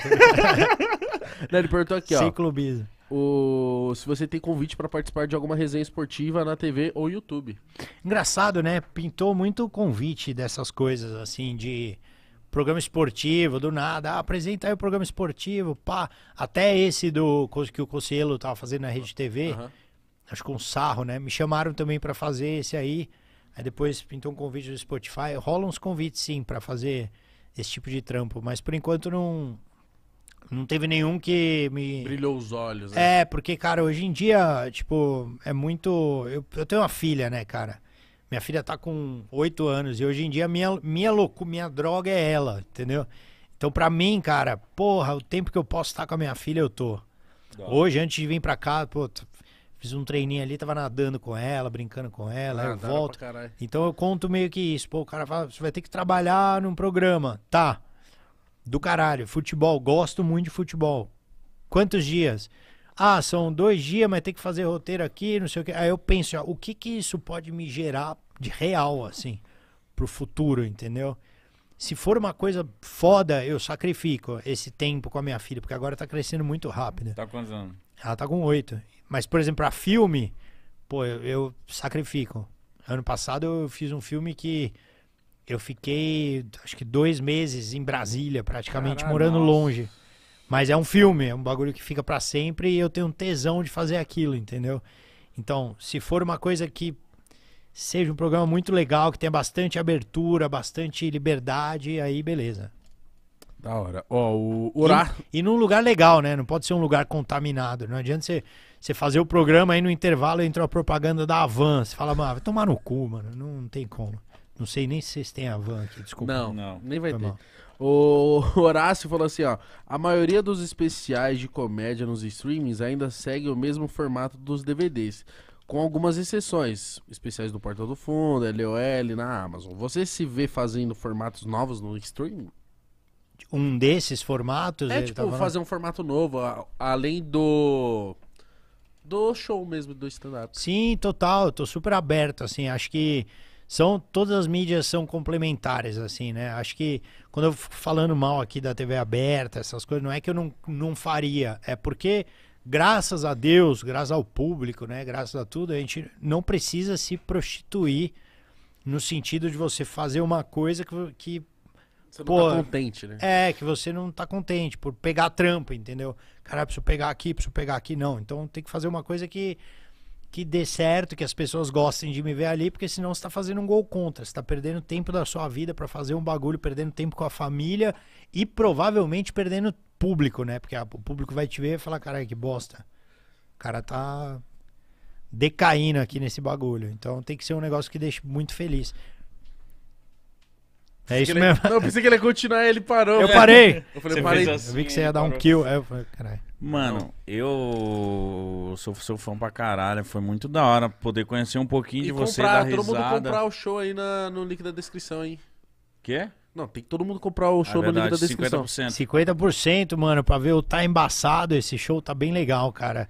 O Tá Embaçado foi um show que veio depois do Tô Viajando, que é o que tá no YouTube, no meu canal. Inclusive, segue aí, pô, Fábio Rabin Stand Up. Tô com quase um milhão, mano. Bora bater um Saiu milhão vídeo lá. novo ontem. Falta, né? na verdade, 12. Não, 92 mil pra chegar. Não, mas vamos. Não, Tá vai bom, todo vamos mundo chegar. em peso lá, mano, pelo amor de Deus. E saiu um vídeo novo. Pô, fazia tempo que eu não dava uma, uma bombadinha legal assim. O vídeo de ontem, graças a Deus, Eu subiu vi. legal. E. Porque o meu objetivo, né, de novo, não sou youtuber, eu não tenho constância nem de dia, nem de nada. É ter que as pessoas assistam e colhem no meu show. Então, pô, foi um vídeo bem legal zoando o Parmeira. most- mostrinha grátis, né? É, zoando. É, vou- quando eu falo esses. é, é, quando a galera vem no show, não tem nada do que tá no YouTube no show. É totalmente diferente. E o show é muito mais elaborado do que as piadas que estão lá no YouTube. Aquilo ali foi feito em um dia pra galera. O show é um trabalho de anos, assim, amarrado e tal. É uma peça mesmo de stand-up ali pra galera assistir. Então tá embaçado sábado, 10 e meia da noite, no Teatro Opus Frei Caneca e descontão 50% pra quem Pelo tá amor de Deus, Vai lá, 50% é muito desconto. Então compra aí, link tá na descrição, certo? Rabin, você cur- curtiu, irmão? Pra caralho, vocês são demais, mano. Porra. Volte quando quiser, de Ainda mais verdade. agora depois desse bagulho do Monark. Agora eu, eu só venho aqui, mano. Obrigado. O Monark perguntou no começo, falou, você é judeu? Eu falei, sou, ele me queimou com Beck. Agora eu entendi. Não Brinca- ri, viado. brincadeira. Não ri que ri. não, Não, tô não, brincando, não. é brincadeira, caralho. Não, tô Não, zoando. é que a gente, meu Deus. Não, tô zoando. Eu acho que não tem que. Pô, o cara falou merda, mas não vai matar o cara, porque É. que tem que estudar, aprender, se desculpar aí. Tamo junto. E, mano, foi um maior prazer estar aqui com vocês. O cara falou, Para, puta, puta absurdo. final. Filho da puta. Fala aí de novo. Me queimou com Beck. Não, Eu falei, fala de novo pra ele se despedir. Ele fala. Ai, mano, maldito, mano. De verdade, ô, que coisa maravilhosa. Siga ele nas redes sociais, rapaziada. Siga no canal também. Tá aí na descrição o arroba dele. Tá aí na descrição o link pra você comprar o show, pra você ir lá no sabadão. E 50% de desconto usando esse link aí, certo? é nóis. É isso, rapaziada. Deixa o like, se inscreve no canal. Tamo junto. Bora bater 5 milhões aí. E Se inscreve, porra, dignidade já.